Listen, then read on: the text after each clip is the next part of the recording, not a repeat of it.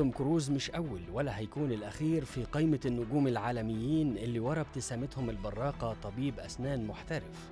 سيلين ديون نيكولاس كيج أوبرا وينفري فيكتوريا بيكهام أنجلينا جولي داني جلوفر إيما واتسون جوليا روبرتس وكاترين زيتا جونز. قائمة لا تعد من النجوم العالميين خضعوا لجلسات تقويم وتجميل الأسنان. من زمن مش بعيد كان الحصول على أسنان سليمة وجذابة أمر مرهق.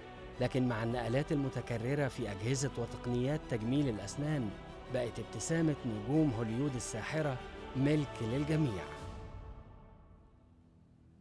أهلا بكم. تعالوا نقرب من القصة دي شوية بدقة وتعالوا نكون يعني آه، آه، مركزين في حاجة مهمة قوي. قد إيه صناعة الابتسامة دي شيء مهم جدا لأي حد. بس لأن النجوم حد وشوش معروفة فهنلاحظ الفرق المهول. الكلمة دي دقيقة جدا. فرق مهول في شكل الإنسان لمجرد وكلمة لمجرد دي كلمة مش مش مصيبة قوي يعني مش دقيقة قوي في التوصيف. لما غيرنا أسنانهم مش مش ما نقولش مجرد تغيير لأن ده قيمته كبيرة تغيير الأسنان. تعالوا نشوف مثلا أول حد ديمي مور. ديمي مور معشوقة الجيل بتاعنا الجيل بتاعنا إحنا كان نحب قوي ديمي مور. قوي ديمي مور في وقت من الأوقات أنا في رأيي إن أسنانها أعاقتها. يعني يعني إيه- إخت- إيه- وحتى لما بدأت تغيرها ما غيرتهاش بالشكل الأفضل.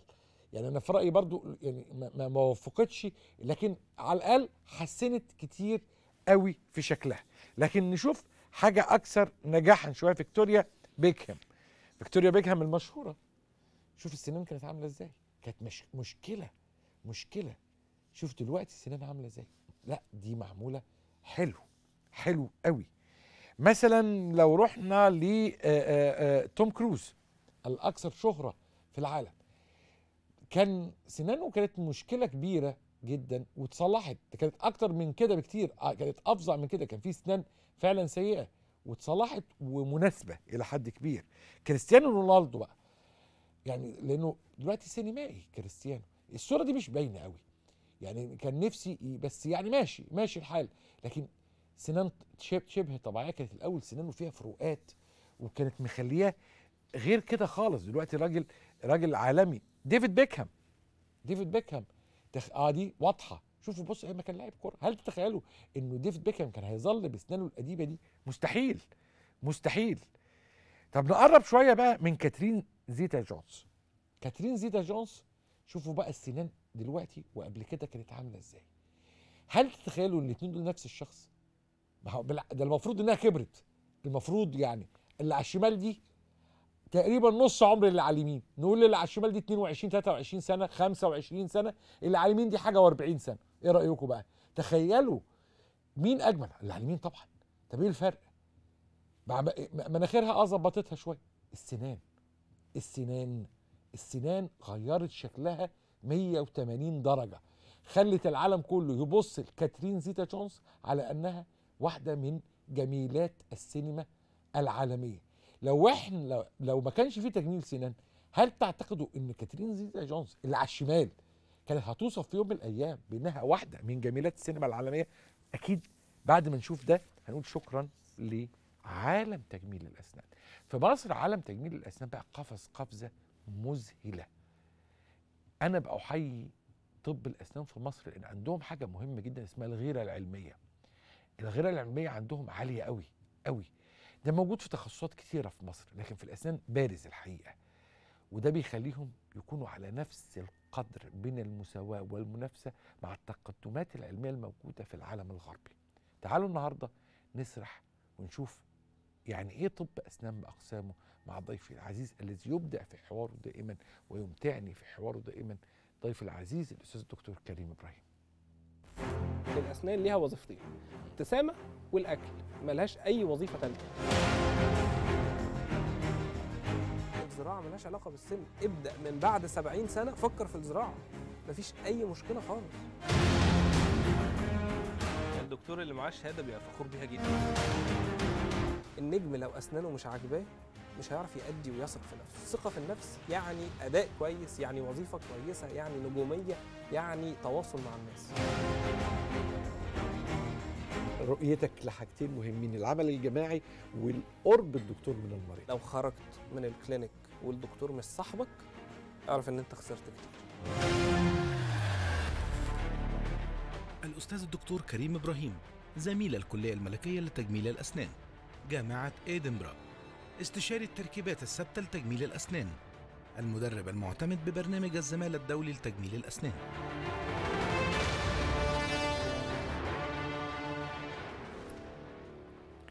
ضيفي العزيز واحد من نجوم طب الأسنان دكتور كريم إبراهيم منورني وسعيد جدا بزيارتك النهارده. وبامني نفسي باستمتاع لحوارك الممتع دائما. هبدأه من منطقة أقسام طب الأسنان سواء في بريدج في أي منظومة من منظومات طب الأسنان في عندكم أقسام. دايما أحس إنه الأقسام في طب الأسنان ممكن يحصل بينها خناقات أو يحصل اختلافات أو يحصل أولويات أو يحصل يعني تفضيل لحاجة عن حاجة. الكلام دوت إزاي بتتعاملوا معاه؟ والله يا دكتور أيمن إحنا يعني من فترات بنينا ثقافة للناس إن يلا انسوا بقى فكرة ال one man show أو انسوا فكرة الشخص الواحد اللي يقدر يعمل لك كل حاجة ويلا بينا نشتغل within teamwork أو آه، مجموعة عمل.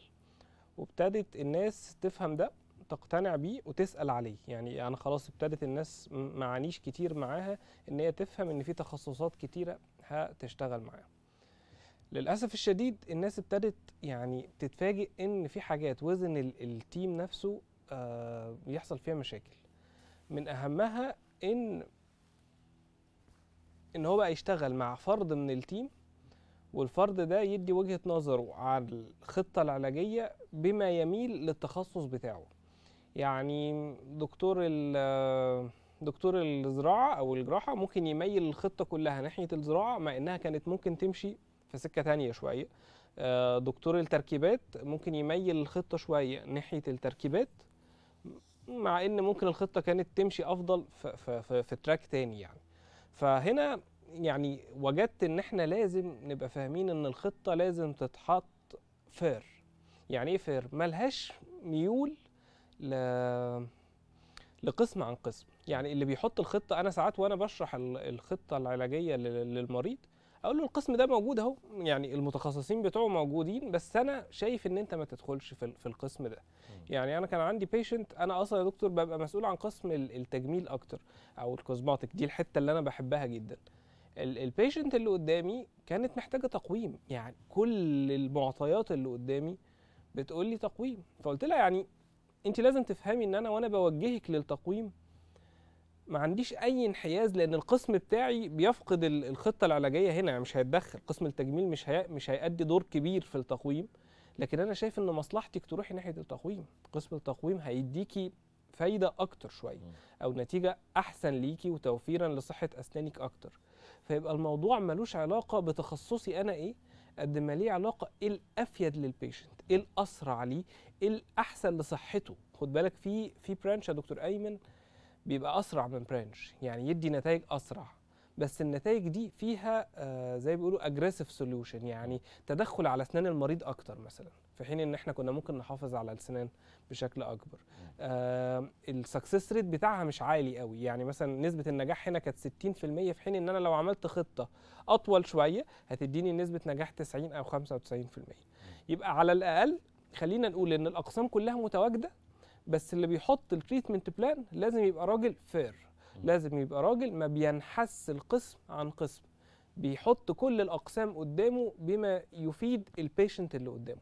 أنا هفيدك إزاي عن طريق إن أنا هدخل القسم ده هنا وأدخل القسم ده هنا و و و والقسم ده ما يتدخلش لأن أنا شايف إن حالتك ما تحتاجش ده. اذا ليس هناك خلاف بين الأقسام إذا كانت الإدارة واعية لقيمة كل قسم وال situation المفروض يشتغل صحيح فيها. الإدارة. حط يا دكتور تحت ما هي كلمة الإدارة. الإدارة 100 خط. ولذلك هرجع أقول دايما إنه في الطب لازم يبقى فيه نظرة لكلمة اسم الإدارة. مظبوط. اسم المنظومة. اسم اسم المنظومة. اسم المنظومة. اسم المنظومة ومين ال headmaster عليه. صحيح. لأنه في ناس جهلة في في, في, في ال marketing. بدأت تلغي أسامي الدكاترة وتحط أسماء منظومات بس. وده غلط. غلط جدا. ده غلط كبير جدا. غلط ده جدا جهل تسويقي وجهل marketing غير عادي. ال ال القصة كلها يا دكتور في جهل علمي. في ال treatment plan في الخطة. مين اللي هيحط الخطة؟ بالظبط. ال- ولذلك إحنا نقف قدام حاجة برضو سؤال مهم. إزاي انت بتقدر تتابع الأقسام كلها؟ إزاي بنتابع ال- الأقسام؟ مم. عن طريق system صارم.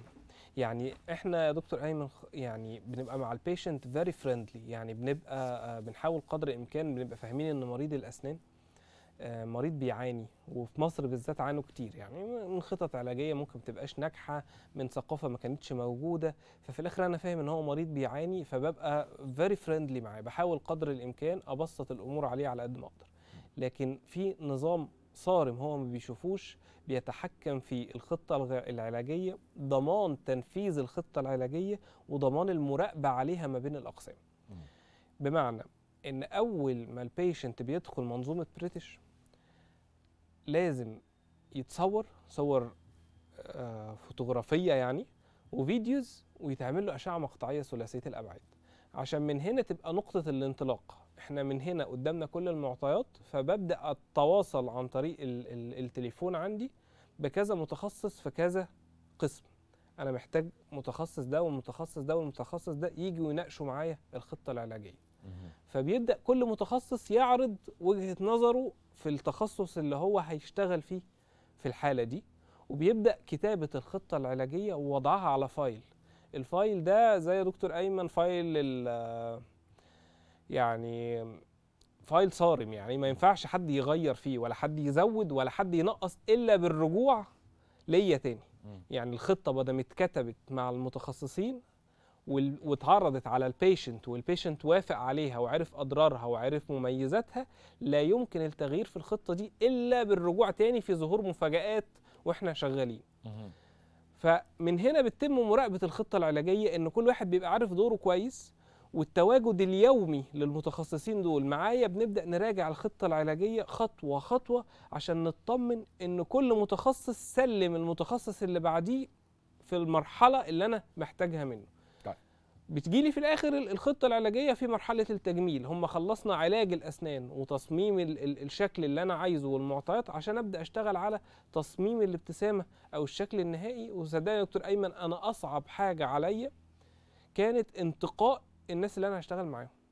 يعني ال- الدكاترة اللي أنا بشتغل معاهم بنتقيهم يعني بشكل دي أصعب حاجة. مطول جدا. جدا. ويعني في كل برانشات الطب أصعب يعني حاجة. يعني فريق العمل صعب إن آه، أنت ت- الثروة البشرية صحيح. والرزق البشري ده آه، ده واحد من آه، من الارزاق اللي الناس ما بتاخدش بالها منه والعامل الإنساني في الدكتور يا دكتور. يعني طبعاً. أنا في ناس كتير قوي تتكلم على مهارة الدكتور وشغله وبينسوا العامل الإنساني. أنا بيتعرض عليا CVs لدكاترة عظام جدا بس بحس إن ينقص عندهم العامل الإنساني إن هو يتعامل مع المريض كإنسان قبل ما يكون دكتور. فبتبقى دي من النقط المهمة جدا إن أنا عايز أطمن إن المريض اللي هيدخل بريتش حتى المعاملة الإنسانية ليه تكون راقية وتضيف له كتير غير العلاج الطبي. الحس الإنساني جزء مهم في التقويم التقييم جزء مهم في التقييم تقييم الدكتور. للأطباء. صحيح. آه، طب تعال نطبق الكلام اللي إحنا قلناه ده على حاجة حاجة يعني نبدأ بالزراعة الأول. صحيح. الزراعة ما بين إنها حالة آه، آه، بيتم فيها التعويض بيتم فيها التعامل الجراحي بيتم فيها ريكونستر يعني البناء لشيء معين وفي النهاية برضه هي حالة تجميلية صحيح آه. بص يا دكتور أيمن إحنا لو عرضنا أول الحالات عندنا دايما هعرض فيها تفصيلة طبية معاها تفصيلة إنسانية مم. عشان أنا يعني لازم الناس تعرف قيمة الدور الإنساني للمرضى وللدكاترة. الكيس دي إحنا عرضناها قبل كده بس عرضنا فيها تفاصيل طبية جدا. عرضنا إزاي الزراعة ولو حضرتك تفتكر يا دكتور أيمن في حلقة سابقة اتكلمنا على إزاي وضعنا الزراعات ب... ب... ب... ب... ب... باتجاهات معينة وبتركات معينة عشان تبقى صالحة. هنا هتكلم دي ابتسامة المريض قبل. لو اتحركنا على طول وابتدينا ندرس الحالة ونشوف الصورة اللي بعديها هنلاقي ال- الزراعة الزراعة في بقه ابتدت تتواجد. طبعا الصور الجانبية عشان نشوف اتجاهات المريض ورسمة الوش بتاعته عاملة إزاي. ابتدينا نحط الزراعات اللي جوه دي تركيبات قديمة إحنا ملناش دعوة بيها غيرناها بعد كده. يعني ودي نقطة دكتور أيمن لو ثبتنا الصورة دي هنفهم إيه. لا معلش. هنرجع. الصورة اللي فاتت معلش بعد إذنكم. الصورة اللي فاتت؟ آه. على طول؟ أيوه. إن التركيبات القديمة دي كنت أنا ممكن أستسهل جدا في الخطة العلاجية وأشيلها وأحط زراعة. بس الزراعة مكلفة جدا. فطول ما أقدر أستغنى للمريض عن منطقة مش هزرع فيها هتوفر عليه تكلفة كويسة. فلما عملت الأشعة المقطعية ولقيت الدروس اللي تحت التركيبات دي جيدة ما رضيتش أشيلها. آه طبعا. يبقى إحنا بنفهم إن الخطة العلاجية فيها تفاصيل ممكن توفر على المريض وقت وتوفر عليه تكلفة بس طبيعي. سيبنا ندرس الحالة كويس. فإحنا زرعنا في الأماكن اللي ممكن تكون محتاجينها وسيبنا الأماكن اللي نقدر نغير التركيبات فيها فتعمل عظيم. شكل جديد. طيب تعالوا نجيب بقى أول صورة لابتسامة المريض بعد. الصورة اللي بعديها ابتسامة المريض قد إيه فرحان؟ آه قد إيه مبسوط؟ وقد إيه طبيعية. طبيعية؟ وقد إيه يا دكتور أيمن في حاجة أنا بحبها قوي الابتسامة دي تحس إن هي ابتسامة مرسومة على شكل الشخص ده. يعني. آه أنا بشوف بتاعته. بتاعته. كلمة بتاعته دي مهمة جدا.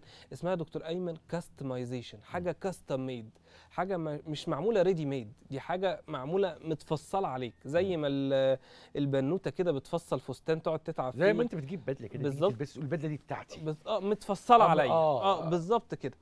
ليه جايب صورته وهو بيضحك في, في جميع الاتجاهات؟ الراجل ده زي ما قلنا كده كان راجل يعني لواء في دولة المغرب وكان راجل ظريف وهو استمتع جدا لما جبنا حالته المرة اللي فاتت يعني وبيشكرنا بشدة على عرض الحالة لأنه حاسس إن هو وصل لإنجاز كويس بس الجانب الإنساني هنا يا دكتور أيمن في زوجة المريض ده. وهنا بقى نحيي الناس زوجة المريض ده يا دكتور أيمن دايما مريض الزراعة بيوصل بيه لحظات شك يعني إيه؟ في وسط ما إحنا بننتظر وبنشتغل على التفاصيل بيبدأ يحس باحباط هو أنا إمتى هوصل للنتيجة النهائية دي؟ زوجته لم أراها يوما إلا مبتسمة. ولم أراها يوما إلا محفزة. الشعب يعني المغربي شعب على فكرة إيجابي جدا. يعني أنا بحييها من هنا والله شعب عظيم. لما ب... لما بقيم الخطة العلاجية بتاعتي قلت لهم كده زوجة المريض ده ساهمت بنسبة 20% في نجاح الخطة العلاجية. ليه؟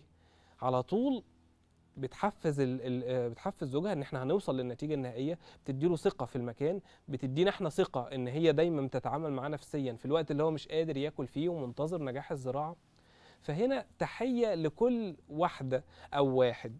بيبقى جنب شريك حياته. بي- بيبقى جنب شريك حياته زي ما حضرتك قلت وبيسبورته في وقت الضعف. وبيسبورته في وقت الشك وبيبقى إيجابي. ليه؟ لأن في في حد تاني يفتكر ان هو خايف على مصلحة المريض فيشككه في الدكتور أو يشككه في الخطة العلاجية أو يشككه في النتيجة اللي هتظهر. هو انت بتتخيل ان انت هنا بتحافظ عليه انت هنا شككته في اهم وقت كنا محتاجين ان انت تخليه يثق في الطبيب. فهنا زي ما قلنا دكتور أيمن في جانب إنساني إزاي وصلنا للابتسامة دي؟ لأن كان دايما المريض على مدار المرحلة اللي إحنا بنشتغل فيها بيثق فينا وفي حد بيساعده وبينجح له القصة ما هو عارف أنا بس هرجع تاني أقول لك إنه كتير من الابتسامات والأسنان ال- ال- اللي إحنا شفناها نقدر نقول لها تجميليا فاشلة. كان السبب في فشلها إيه؟ تخيل. إنهم راحوا عملوا عند أصحابهم. يعني إيه عند أصحابهم؟ عند حد يعرفهم. صحيح. أنا مش مش يعني القصة مش إن أنا أعمل عن ممكن يكون اللي أنا أعرفه ده كويس جدا. يا سلام يبقى حلو. صحيح. لكن ممكن يكون اللي أعرفه ده ما يمتلكش من العلم شيء. لا بس أنا ال- يمتلك شيء واحد بيني وبينه إن أنا أعرفه. والله يا دكتور أيمن وحتى لو يمتلك من العلم شيء أنا بالذات اصحابي وقرايبي لا اتدخل في خططهم العلاجية. دايما أخلي حد من الفريق عندي هو اللي يحط لهم الخطة. ليه؟ ساعات العاطفة تتدخل. ساعات مفروض إن أنا أعمل حاجة وأنا حاسس إن أنا عايز أوفر له شوية وقت ولا أوفر له تكلفة فأثر في الخطة العلاجية. فأروح جايب حد من الدكاترة اللي أنا بثق فيهم وأقول له ناقش معايا الخطة دي أو حطها وحاول ما أتدخلش فيها قدر الإمكان. أتدخل في دوري بس كشغل. فهنا حتى دي بيسموها في الطب recommendoma ما تشتغلش لحد آه، تعرفه recommendoma. لا وفي حاجة تانية كمان غير ال recommendoma. النجوم أو المشهورين في عالم الفن والرياضة والتمثيل والإعلام دول أصعب أنواع العيانين. صحيح صحيح. يعني أنا بعاني جدا معاهم. جدا. مع إنهم أصحابي يعني, وأنا يعني كمان بره بره أنا, أنا بعاني وهم آه، أصحابي. بره الكلينيك يعني بحبهم تيجي تكتب إنسولين لي لحد فيهم يقول لك لا لا ما تكتبليش صحيح. أمر يا عم أنت ما ينفعكش غير إنسولين. لا ما تكتبليش إنسولين. اكتب لي دواء أنا يا دكتور أيمن كان عندي فنانة بدون ذكر اسمها يعني من الناس اللي بيضحكوني جدا. قلت لها والله ما عارفة أشتغل لك. يعني من كتر ما هي بتضحكني طول ما أنا شغال معاها والله يا دكتور ايمن قلت وده لها حلو. مش عارفة أشتغل. يعني يعني بس ما تقترحش عليك حاجة تصمم عليها. هم بيبقى عندهم ظروف خاصة. ال- الفنانين بالذات بيبقى عندهم تصوير ومواعيد و... و... okay، okay، ده حلو. لك schedule صعب. حلو حلو. كل ده جاب على دماغي. لكن ما تقولكش مثلا اعمل لي لون شاهق البياض مش لا. هم يعني بعد ال... بعد بعد ال- الأمثلة اللي شافوها وعرفوا إن هي كده بقوا يسمعوا كلامنا يعني بقوا يسمعوا كلامي يعني قلت لهم أنتوا عرفتوا قد إيه إن أنا لما كنت بصمم على حاجة كانت بتطلع مظبوطة في الآخر. ف... فهنا الجانب الإنساني في في ال- في الخطة العلاجية والشغل بتفرق جدا لو شفنا يا دكتور أيمن الكيس اللي جاية ودي كيس يعني صعب إن أي حد من مشاهدين الدكتور ينساها. هتفضلوا فاكرينها كتير وفيها حتة إنسانية عظيمة. لو شفنا أول صورة ليها كانت مدام جاية مع زوجها وهنا بقى هنعكس. دور الزوج بقى. ال- ال- المدام كانت جاية وابتدت نبص على شكل أسنانها ونبدأ حسينا إن الخطة هتاخد وقت وهتاخد مجهود. هو وقت ده بالنسبة لنا يعني أسبوعين. يعني في عالم طب الأسنان دلوقتي الطبيعي إن إحنا نخلص الخطة في يوم اتنين تلاتة. معنى إن أنا بقول خطة هتاخد وقت بالنسبة للتجميل يعني هتاخد أسبوعين هتاخد 10 أيام. الزراعة زي ما قلنا رينج 3 شهور. لما بصيت على الحالة دي قلت لهم الحالة دي ليه سايبة نفسها كل الفترة دي لحد ما وصلت للمراحل دي؟ وفضلت أتكلم معاهم والناس كانت متحمسة جدا وأنا دايما يا دكتور أيمن يعني أحيانا برفض حالات. أحس إن الناس مش متحمسة لل- لل- للخطة اللي أنا حطيتها مم. أو مش متحمسة لأسنانها بشكل عام. يعني جاية كده وهي مش مش عارفة قيمة ابتسامتها عاملة إزاي. ابتديت أشتغل ابتدينا لو شفنا الصورة اللي بعديها ابتدينا نفتح الفك أكتر. أنا بصيت على الابتسامة الأول. طبعا يعني أسنان هي وصلت للمرحلة دي عندها سكر؟ آه ابتديت أفتح بقى الصور لقيت كمان عندها سكر؟ إيه؟ عندها سكر؟ لا يا دكتور أنا مش مريضة سكر. لا هنرجع؟ نرجع- معلش. نرجع للصورة بقى نرجع الصورة فاتت الثانية بس يا. جماعة قبل ما نشتغل. آه. آه الصورة دي. ابتديت أحس إن الضروس الخلفية كمان فيها تدمير وكان في مكان فراغات محتاجة زراعة جوه. يعني الأسنان الخلفية كمان محتاجة زراعة. فهنا دكتور أيمن يعني اشتغل في الكيس دي 8 أو 9 أقسام من الدكاترة. بما فيهم دكتورة العلاج الطبيعي ودكتورة الجلدية ال ال الدرمة وثمان تخصصات جوه طب الأسنان. كل دول بيشتغلوا في خطة واحدة مرسومة ومكتوبة عشان نوصل بيها لنتيجة نهائية. ابتديت بعد ما خلصت شفت صورة أول ابتسامة. لو خلصنا بقى الصورة دي وبصينا على أول ابتسامة دي وإحنا فاتحين بقها بعد علاج الأسنان وبعد وضع الزرعات في المناطق الخلفية. فدخلت لدكتورة العلاج الطبيعي. إحنا دايما في بريتش بعد ما المريض بيخلص الخطة العلاجية بنبقى خايفين على عضلات الوش. اشتغل كتير وفتح بقه كتير فعايزين نطمن. فابتدينا ندردش مع المريضة بقى وهي فرحانة وخرجت من الإطار ال- ال- اللي قبل كده. فقالت لنا إن زوجها كان من الناس اللي ساهموا إن هي تعمل أسنانها. وساهموا بقدر يا دكتور أيمن إن هم يعني معلش هدخل في التفصيلة دي يعني شوية. هو ما حدش يعرف المريضة دي لأن إحنا مش جايبين غير صور الأسنان. مم. إن هم كانوا في ضائقة مالية شديدة وبمجرد ما الضائقة دي اتفكت هو ما فكرش غير إن هو يعمل لها اسنانها راجل عظيم. راجل عظيم. وعشان كده أصريت إن أنا راجل أحييه. عظيم. يعني أنا. ايمن أحييه وهو يعلم ان أنا نحييه لشخصه. صحيح. أنا يعني ما أعرفوش شخصيا بس أنا بحيي هذا الرجل وكل رجل وكل رجل عنده هذه الدرجة من العطاء لمراته لأمه لأولاده. الرجل عطاء والست عطاء عطاء للغير. الناس دي عظماء اللي عندهم السعاده إنه يطلع من الضائقة المالية. ما فكرش غير في إنه يسعد مراته. ويا دكتور أيمن يعني قيمة إن أنا ربنا يوسع عليا فأول حاجة أفكر فيها آه. أهل بيتي دي حاجة عظيمة. آه. وحاجة كان في راجل تاني ممكن يقول لأ أنا أعمل مشروع أنا أعمل حاجة. إن أنا أفكر ولو تتخيل يا دكتور أيمن أنا وأنا بقى بشتغل في الخطة العلاجيه لسه طالع من ضائقه والراجل يا دكتور أيمن وإحنا شغالين يعني زي بيقولوا كده بالبلدي ما بيستخسرش حاجة. أي حاجة نقول له إن هي في مصلحته يقول لنا اعملوها. طب دي هتعمل كذا اعملوها اشتغلوا طلعوا أحسن حاجة. وأنا والله ما كنتش أعرف التفصيلة دي ده بالصدفة يعني تتكلم. عرفتها عن طريق دكتور دكتورة معايا بتشتغل فقالت لي يعني التفصيلة دي. فأصريت إن أنا أقولها وأصريت إن أنا أعلنها إن اللي نقل الصورة من المنظر اللي فوق للمنظر اللي تحت هو زوج المريضة دي الراجل العظيم. الراجل اللي هو أنا بسميه أغنى الناس يعني اللي هو راجل حاسس إن الفلوس دي ملهاش قيمة قصاد إن شريك حياته يبقى سعيد. وفي ناس كتير في مصر كده. في ناس كتير جدا يا دكتور آه، أيمن. في يعني ناس في كتير ناس في مصر. كتير جدا. عشان بس الناس اللي بتروح يعني مطلعة صورة يعني سبحان الله في أزواج رجالة وستات ملايين في مصر رائعين. أبص ألاقي ال social media وألاقي الميديا مطلعة بت- صورة. بت- بتبروز واحد وواحدة مش عارف. عملوا آه، إيه. أمثلة. عمل صح.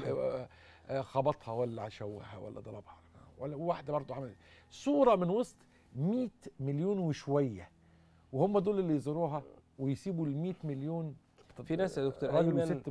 قمة الاحترام جدا. وفي ن- أنا يعني بقيت أشوف الناس دي يعني وأنا بطمن عليهم حاسس إحساس رائع قد إيه ال- التضحية وقد إيه العرفان بالجميل وقد إيه الحب في الشغل ده مم. إحنا هنا يعني يا دكتور أيمن صدقني الحالة دي يعني إحنا لو لو رجعنا للصورة اللي قبل والبعد اللي قبل دي هنلاقي حاجة أنا أصلا أول ما شفتها لو إحنا خدنا بالنا الأسنان اللي تحت يا دكتور أيمن فيها حاجة اسمها كانت معوجة خالص واخدة كيرف كده.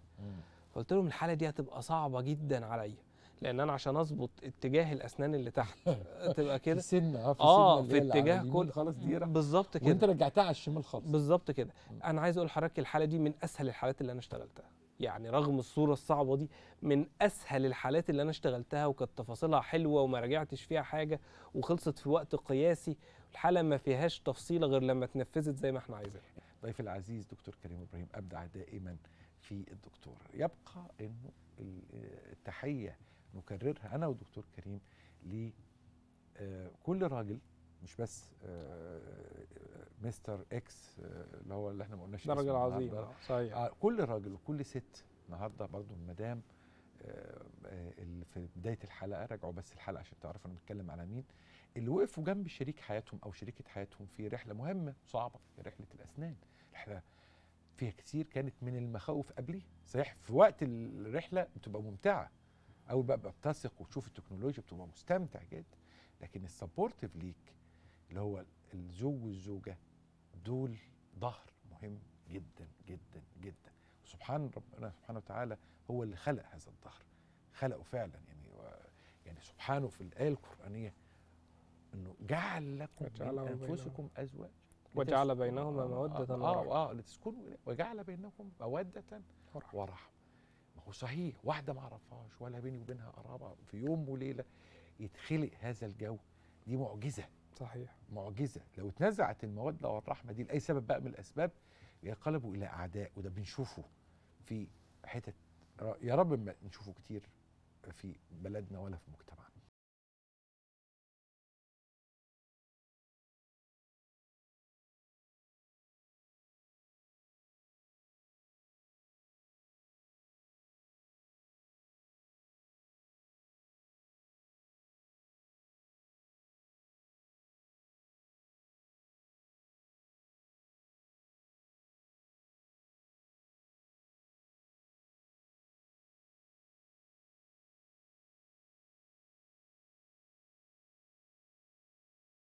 أنا حابب أتكلم معاكم النهارده من بريتش من قلب بريتش من المؤسسة اللي أنا شايفها الأعلى والأعظم على مستوى الوطن العربي. شايفها تقدر تنافس الدول الأوروبية شا- شايفها تقدر آه، تحط مصر على قدر ال imitation أو الموازاة مع أي دولة أجنبية في مجال طب الأسنان بالذات. وإحنا بنعاني بقالنا فترة من فكرة الاستسلام إن أوروبا سبقانا دايما أو إن ال- الدول الأوروبية سبقانا آه لا أنا قادر أقولها هنا بثقة إن بريتش تقدر تنافس أي دولة أوروبية أو على قدر ال imitation من أي دولة أوروبية نقدر نحط نفسنا في نفس ال track بالنسبة لطب الأسنان. طيب آه بريتش تعتمد في المقام الأول والأخير على الشخصية. شخصية بريتش أو شخصية المكان هي المؤثرة في أكثر من 100 ل 120 موظف مرتبطين ببريتش إذا كان دكاترة إذا كان موظفين للعلاقات العامة إذا كان آه، طقم تمريض كامل إذا كان آه، ناس مسؤوله عن الحسابات والمواعيد والسكرتارية. كل ما يخص ال patient وكل ما يخص ال satisfaction أو رضا ال patient عن الخدمة اللي بياخدها أو ال service اللي بياخدها جوه المؤسسة دي قائمة على الشخصية شخصية بريتش إيه؟ إحنا اتعودنا وأنا رجعت مصر من خمس ست سنين واتكلمنا معاكم كتير عن بريتش والفكرة اللي عندنا والحلم اللي كان عندنا قبل كده. النهارده حابب إن إحنا نتكلم من جوه بريتش ونشرح أكتر شخصية بريتش عاملة إزاي الناس اللي هنا بيشتغلوا إزاي. إحنا لينا شخصية زي ما بيقولوا متفردة. آه، ما بنعرفش نقلد حد بنعرف نشتغل زي ما إحنا شايفين أو بالشكل اللي إحنا شايفينه الشكل اللي إحنا عايزين نوصله لل patient آه، قائمة على system إنجليزي آه، في كل تفاصيل ال patient من أول ما بيدخل المكان لحد ما بنعمل عليه follow up أو نطمن عليه قبل ما يمشي هيعمل إجراء إيه؟ ايا كان زراعة تجميل علاج لأطفال تقويم جميع branchات طب الأسنان. إحنا هنا أكتر من 25 دكتور متوزعين في جميع تفاصيل طب الأسنان. فبالتالي آم، شخصية British هي المؤثرة في كل الكيان ده. الشخصية الخاصة ب British الخاصة بتفكير الناس اللي بتشتغل هنا. إدنبرا أنا عشت فيها فترة وكان آه، أنا شايف إن الأطباء المصريين والناس اللي موجودة هنا يمكن يكونوا أعلى على مستوى ال hand skills أو المهارات اليدوية. آه، ال system هو اللي كان بينقص شوية مصر بالنسبة لطب الأسنان وعشان كده أنا أعتقد إن إحنا قدرنا نوصل لده أو قدرنا نقرب منه بشكل كبير. شخصية British هي الشخصية اللي خلتنا نقدر نعمل كل الابتسامات دي. كل ما يؤثر في ابتسامة ال- الشخص British بتركز عليه جدا.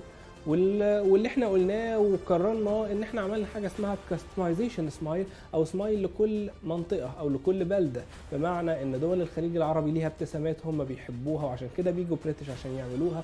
دول المغرب وتونس. والجزائر ليها ابتسامات بنقدر نشتغل عليها. ال Europeans smiles أو ال smiles الأوروبية. بس في الآخر كل ال smiles دي تعتمد على ختم واحد. هو ختم British أو ال British smile زي ما بنقول.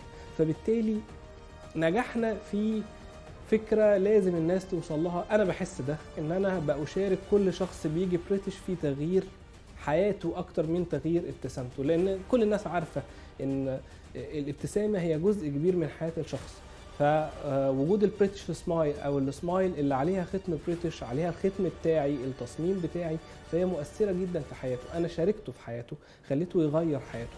كل النجوم اللي شرفونا في British كل الناس دي أنا شاركتهم لحظات السعادة بتاعتهم وإحنا دايما بنركز إن إحنا نتواصل مع ال patient بعد ما يمشي يبعت لنا صور الفرح صور الخطوبة صور مناسبة سعيدة بنؤثر بالسمايل بتاعتنا فيه لينا طبيعة خاصة لينا تصميم خاص بنعمله لينا شغل خاص بنعمله آه system معين مش موجود غير في British أنا ما أعتقدش إن في في مصر system يوازي system British وعشان كده فخورين جدا بنبذل مجهود رهيب عشان ننفذ ال system ده. آه الناس جت هنا كتير وعرفوا قد إيه إن إحنا كل يوم ممكن نمشي خمسة الصبح وستة الفجر من ال- ال- المكان. ونيجي بدري 26 دكتور تخصصات مجموعات من الناس بتشتغل عشان ندي لل patient service عالية. بما معناه function عالي جدا يعني يؤدي الوظيفة بتاعت أسنانه بشكل كويس ياكل بشكل كويس يعض بشكل كويس وفي نفس الوقت نضمن له smile design تصميم للابتسامة بشكل كويس علينا كتير من إن إحنا بنبص على ناس بتبتسم نكتشف إن ابتسامتهم كلها شبه بعض ده معناه إن ما تعملوش تصميم مفيش تخصصات قربت منه مفيش ناس درست هو عايز يعمل إيه ال smile design بتاعته عاملة إيه وعشان كده إحنا شغالين على ال track. أهلا بكم. بلا شك السؤال اللي بيفرض نفسه بشكل مهم جدا. ليه زادت السمنة في المراهقين في الشباب في بداية الشباب؟ لأنه أنا شايف إنه في حاجات كتيرة قوي مش عيب فيهم هم بس. عيب في السيتويشن بتاع التصرفات كتير من اللي حواليهم. مشاريع بتتعمل في كل حتة. تمام. أنا مع المشاريع وبحب جدا التطوير اللي بيحصل. تروح الساحل تلاقي ما شاء الله مشاريع كبيرة بتتعمل فيه. هنا في مصر في, في كل مكان مشاريع. بس فين الرياضة؟ فين الرياضة في وسط المشاريع الكتيرة اللي معظمها أكل على فكرة؟ يعني الأكل 80 أو 70% من أي مجمع كده معمول معمول للأكل. محلات شغالة fast food نازلة بالبراندات بتاعتها اشي سندوتشات اشي بيتزا اشي مش عارف إيه ويجي محل يعني حتى محلات الكباب والكفتة اللي هو الأكل بتاعنا الشعبي ال- اللي تحس إن هو يعني أكل بجد ده تلاقيه متواري خيبان كده مستخبي كده هم اتنين تلاتة وبيقلوا. الأكل السريع هو ده اللي موجود. الشباب ملموم هناك. بشوف الشباب ملموم هناك. حلو. بس ليه مش ملمومين في الساحة الشعبية؟ هي فين الساحة الشعبية أساسا؟ أنا زمان كنت بروح الساحة الشعبية وأنا شاب صغير.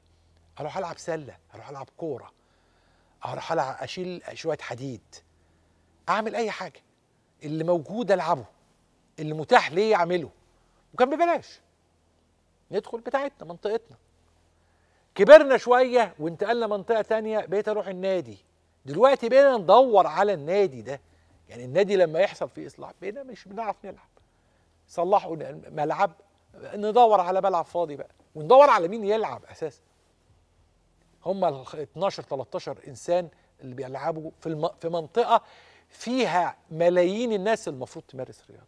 زادت السمنة المفرطة بقى المراهقين عندهم سمنه بقى تلاقي الشباب وتلاقيهم بقى موسميين. يعني يحافظ على وزنه شوية قبل الجواز. بعد الجواز الدنيا بتضرب. أول ما يتجوز تلاقي بقى المقاومة راحت خالص. هما الاثنين قعدوا مع بعض مفيش خروج. هما الاثنين بدل ما يخرجوا ويعملوا رياضة الاثنين مع بعض لا قاعدين بيتفرجوا على التلفزيون وبياكلوا. وكل اللي بيعزموا يعزموا مع أكل. فتلاقي الاثنين الراجل والست وزنهم زاد. ولذلك سمنة المراهقين شيء خطير. تعالوا النهارده نفهمه ونقرب منه مع ضيفي العزيز الذي يبدع في حواره دائما وبيمتعني بهذا الأسلوب العلمي الرشيق جدا. السهل الممتنع في الشرح لكن كمان في تركات علمية بتتقال في منتهى الأهمية. واحد من ال mega stars لهذا العالم عالم جراحات السمنه في مصر والوطن العربي الأستاذ الدكتور كريم صبري أستاذ جراحات السمنه المفرطة والمناظير بكلية الطب جامعة عين شمس والمدير لوحدة جراحات السمنه بمستشفى وادي النيل وزميل كلية الجراحين الملكية بإنجلترا وعضو كلية الجراحين الأمريكية والحاصل على أعلى تصنيف جودة دولي في جراحات السمنه أهلا بيك يا دكتور. أهلا وسهلا أهلا وسهلا. إحنا بصدد كلمة سمنة الشباب. إيه بقى؟ إيه تعريفها؟ إيه تو- إيه واقعها في الحياة؟ في البداية اسمح لي إن أنا أحيي حضرتك وكل السادة المشاهدين وكل فريق العمل.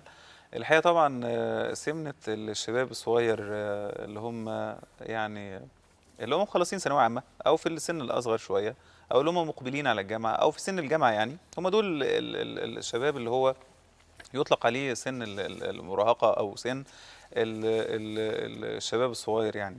طبعا هو يمكن حضرتك أفضت في الأسباب التي تؤدي إلى السمنة المفرطة في السن المبكر والحقيقة طبعا لا تخفى عن الحياة الممكنة اللي إحنا فيها مع إهمال شوية في الرياضة. والحقيقة يمكن ال ال ال ال السن ده يمكن ظروف الحياة اتغيرت شوية. المغريات طبعا بال social media ويعني التطور الرهيب في يعني في الأجهزة اللي هي التليفونات يعني وال iPads والحاجات اللي هي الأكل كله آه طبعا. كو... مفيش مشاوير. ده حقيقة. وبعدين فعلا لا أنا ال shopping. أنا يعني طبعا ده خد جزء كبير. الحياة اتغيرت فعلا. يعني الحياة اتغيرت فعلا. بس برضو أنا مصمم دايما إن الواحد اللي عنده آه، جينات للسمنة المفرطة هو أكتر قدرة إن جسمه آه، يستوعب أقل كمية أكل ويخليه آه، دايما على يعني آه، استعداد إنه يزود وزنه بسهولة جدا. فالأسر اللي هي بيبقى فيها وزن زيادة أطفالهم برضو أو سن أو الأطفال بتوع أو أولادهم عموما بيكون عندهم قدرة لزيادة الوزن أكتر من قرنائهم يعني. فبرضو أنا بكرر بقول إن إن السن صغير إحنا مش عايزين نجلده تماما ولا عايزين نقول عليه إن هو مهمل في الأكل أو إن هو بياكل بأكل زيادة. إحنا قلنا سببين. السبب الأول إن هو عنده جينات أصلا مورثه في معظم ال- ال- الناس يعني. آه، تؤهله لذلك. النمرة الثانية النمرة الثانية برضو اللي عايز أقولها إنه طبيعة الحياة اتغيرت. يعني طبيعة الحياة اتغيرت فعلا من مغريات في الأكل ومغريات في حاجة ومفيش وقت أصلا للرياضة يمكن دراسة بتشغله شوية عايز يخرج بقى في الوقت الفاضي بتاعه ففي مغريات كتيرة جدا. آه، حياة اختلفت شوية يعني. فمش عايزين نجلد ال- الشاب الصغير ال- الولد الصغير اللي هو عنده زيادة في الوزن أو البنت الصغيرة. هم ما عندوش ذنب. آه، السبب الثاني اللي كنت عايز برضو أقوله الثالث بقى إنه الجسم بعد كسر الوزن ال 100 كيلو بيكون عنده hyperinsulinemic state أو زيادة مرضية في الانسولين. بقى بالراحة الحتة آه. دي لأن الحتة دي مهمة قوي الحتة دي بتقول إنه آه، في السن ال- ال- في الوزن الكبير بيبقى في هناك مناعة من الانسولين توفر الانسولين بصورة مرضية مما يؤدي إلى آه، زيادة الشهية إلى ال high caloric diets أو الأكل اللي فيه طاقة عالية. هو يعني لو قلناها بطريقة تانية إن إحنا لو ال hyperinsulinemic state بتخلي الجسم اللي هو 80 كيلو ل 70 كيلو ممكن تنزل له الوزن بصورة أسهل من إن الوزن لو كان 90 ل 70 أو 100 يبقى أصعب شوية من 80 و 90 طب لو كسر ال 100 بقى أنت لو عايز تخس يبقى يعني جسمك ده آه، حاجة كده مش عايزاك تخس. كانوا زمان بيضربوه بيها مثلا يعني في بعض الكتب آه، إنه آه، أو يعني بالصورة العادية خالص أنت بتزق في حاجة عربية في مطلع يعني. هو الجسم بي- بيتغير طبيعته إلى طبيعة مضادة لإنقاص الوزن بعد كسر ال 100 كيلو. عشان كده إحنا عايزين آه، أنصح كل الناس اللي عنده وزن حتى 5 كيلو حاول تنزله إنه ده أسهل. أنت لو 10 كيلو هيبقى أصعب. طب 15 كيلو زيادة يبقى أصعب 20 أصعب وأصعب. طب لو كسرت أكتر من كده أنت لأ. آه، وزارة الصحة العالمية قالت إن الوزن اللي كاسر فوق كده بقى خلاص أنت محتاج عمليات ما تضيعش وقت.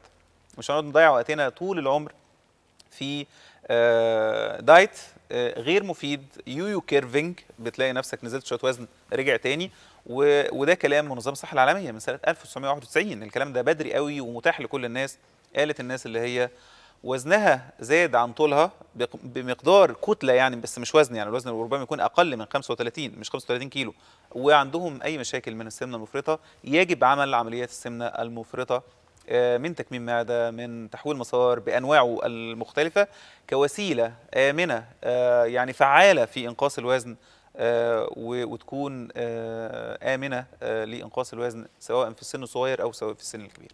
ال- الظروف المحيطة بالشباب بالذات ظروف مختلفة شوية. من ضمنها مثلا إن البنت مقبلة على الجواز إن البنت هتخلف ولا مش هتخلف والى آخره. وفي ناس عندها اعتقاد لأ ما البنت لسه ما اتجوزتش فما نعملهاش أي عمليات. ده البنت لو تعملها عمليات مش هتعرف تخلف. ده, ده, ده ناس حافظة الكلام آه. ده. الجانب الآخر تأثر الشباب آه، في القدرة الجنسية كمان بالسمنة المفرطة اللي بيعانوا منها. طبعا السؤال ده في منتهى الأهمية. يمكن ده سؤال أنا بتسأله كل يوم. يعني تقريبا بصورة مستمرة. هو موقف آه، قاعد وأم أو أب قاعد وبنته معاه أو ابنه معاه. هو إيه يعني إحنا بنعمل حاجة صح ولا غلط بالنسبة لحياته الإنجابية أو خلينا نتكلم إحنا يعني في مصر يعني لازم نفكر ب- ب- بطبيعتنا العادية. إحنا دلوقتي ال- السمنة المفرطة تؤدي إلى تأخر الإنجاب. ده طب مش كلام عادي خالص. إحنا دلوقتي ال- ال- ال- السن الصغير المقبل على الزواج لو في 100 سيدة أو 100 بنت عندهم تكيس مبيض 80% منهم عنده آه، سمنة مفرطة المسببة لتكيس المبيض تكيس المبيض آه، واضطراب الهرمونات بيعطل أصلا الإنجاب. والحل فيه إيه؟ إد- إدي بقى علاجات في واحد عنده سمنة مفرطة أو بنت عندها سمنة مفرطة عندها صعوبه في الإنجاب عندها تكيس مبيض أو لخبطة في الدورة. يدي لها علاج آه واثنين وثلاثه ويقعد معاها سنة وسنتين وثلاثه لا يوجد علاج غير إنقاص الوزن. لا يوجد علاج غير إنقاص الوزن. ويمكن أكيد آه، آه، أطباء النساء أو استشاري النساء بيحاولوا لها أول حاجة انزلي في الوزن. ويمكن بيدوا حاجات دلوقتي أصلا آه، من البداية عشان إنقاص الوزن آه، عشان تبتدي إن هي تتحسن الدورة الهرمونية بتاعتها. يبقى اذا رقم واحد السمنة المفرطة تؤدي إلى تأخر الإنجاب وعدم القدرة على الإنجاب والضعف الجنسي عموما عند الرجال لأنه يعني كل كان دايما آه، كل كيلو زيادة في الوزن يؤثر بالسلب على الصحة الإنجابية والقدرة آه، يعني اللي هي ال- ال- ال- القدرة الجنسية أو القدرة على الإنجاب بالنسبة للرجال. لأن هرمونات ال- ال- ال- الدهون بتحول الهرمونات ال- الذكورة يعني إلى هرمونات أنثوية. يعني بالبلدي كده إن الدهون بتؤثر بالسلب سواء بالنسبة للبنات أو ال- الولاد ذكر أو أو بنت يعني بتحول طبعا آه، قدرتهم على الإنجاب بالسلب إلى آه، صورة مرضية. طيب إحنا إيه الحل اللي إحنا بنعمله؟ هو إنقاص وزن فبيضاعف القدرة على الإنجاب بيحسن الدورة الهرمونية ويعيد الاتزان الهرموني مرة أخرى للبنات. يعني البنت اللي عندها سمنة مفرطة أنا يعني تقريبا 90% منهم دورة ملخبطة آه، عندها جزء من تكيس المبيض عموما يعني آه، فده واضح جدا. بعد إنقاص الوزن بترجع الأمور بطبيعتها جدا. ويمكن أنا آه، يعني مثال يمكن في سن أكبر شوية كان جالي زوج وزوجة يعني من السودان من حوالي خمس ست سنين. وكانوا قعدوا عملوا اي في اف يمكن كذا مرة يعني. والوزن الزوج والزوجه يعني أنا فاكر أرقامهم ما بين 170 و 180 كيلو هما الاثنين كان. بعد والله ده حصل في كان في كان جولي في عيادة حتى المركز بتاع المعادي بعض ده معناه إن السمنه مرض معدي. لا هو يمكن ما كانوش واخدين بالهم أو يمكن هو صدفة. هو عادة آه، يمكن حصل تلاقي يعني يعني ده نصيب إن هم اتجوزوا بعض يعني. المهم إن هو قعدوا يعملوا اي في اف كذا مرة وما كانش في قدرة الإنجاب. سنتين اتنين راجعين مخلفين وزن نازل وبدون أي IVF وبدون أي علاج هرموني آه. وبدون أي حاجة خالص لأن إنقاص الوزن هو علاج. يعني هو ال ال ال ال السن ال- اللي هو الوزن الكبير عنده صعوبة كبيرة جدا في الإنجاب.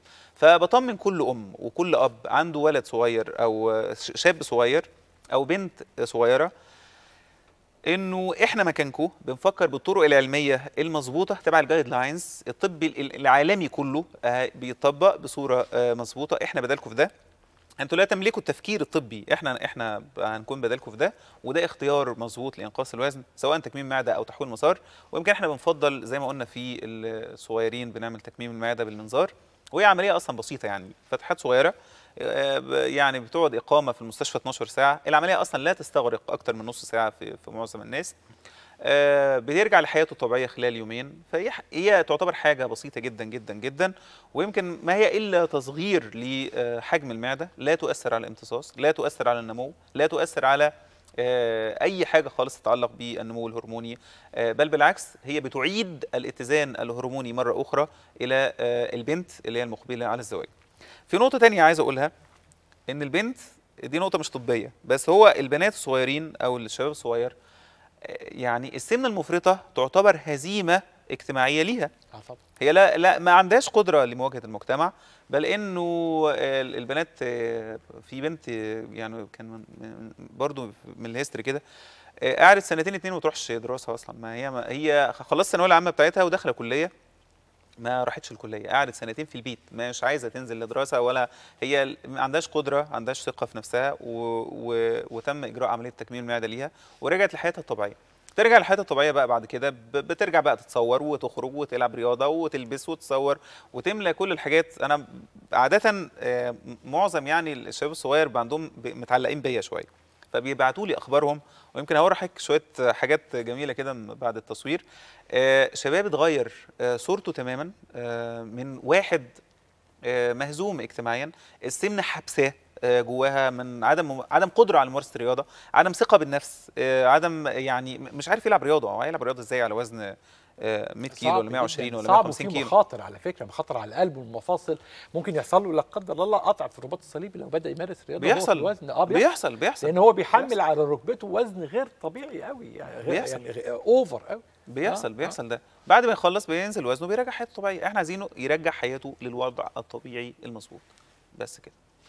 على فكرة ده شيء نقف قدامه كتير إنه ال- الوزنهم زيادة قوي ساعات بيبقى عندهم حماس وخصوصا ما هم شباب يروحوا يمارس رياضة يروح جيم أو أو يروح مكان يمارس رياضة بدون إشراف طبي. بيعرض ركبته بيعرض قلبه وبيعرض ضغطه إلى آه، زي ما بيقولوا صدمة. أنت وزنك زيادة قوي المفروض الأول نقلل شوية الوزن قبل ما نمارس الرياضة. ما ما ينفعش أروح زي ما بيقولوا أروح أحارب وأنا حاطط على كتافي آه، يعني دهون وكوارث كتيرة قوي. فبدخل الحرب وأنا مكبل اللي هي حرب الرياضة يعني مكبل بأشياء في منتهى الخطورة. فبيبقى الثمن إيه؟ قطع رباط صليبي وظروف ركبة. مشكلة دي تانية بقى. ممكن تخليه وزنه يزيد برضه. أنت حضرتك بتطلب منه المستحيل. يعني الأسرة بتقول له يا ابني بطل أكل. هو بطل أكل إزاي؟ ما هو أصلا الجسم عنده شراهة للأكل. هو الجسم كده هرمونيا مؤهل. واحد وزنه 120 130 كيلو. أنت متوقع منه إيه؟ هو ما عندوش هو مش بسببه هو هو ده آه، جزء هرموني بحت. النمرة الثانية العب رياضة وانت في وزنك انزل يا ابني اتحرك. والعب رياضة. العب رياضة إزاي؟ ما هو بيروح ينهج من 10 دقائق ما يقدرش يطلع سلم حتى ما هو انت بتطلب منه ال- الحاجة المستحيلة.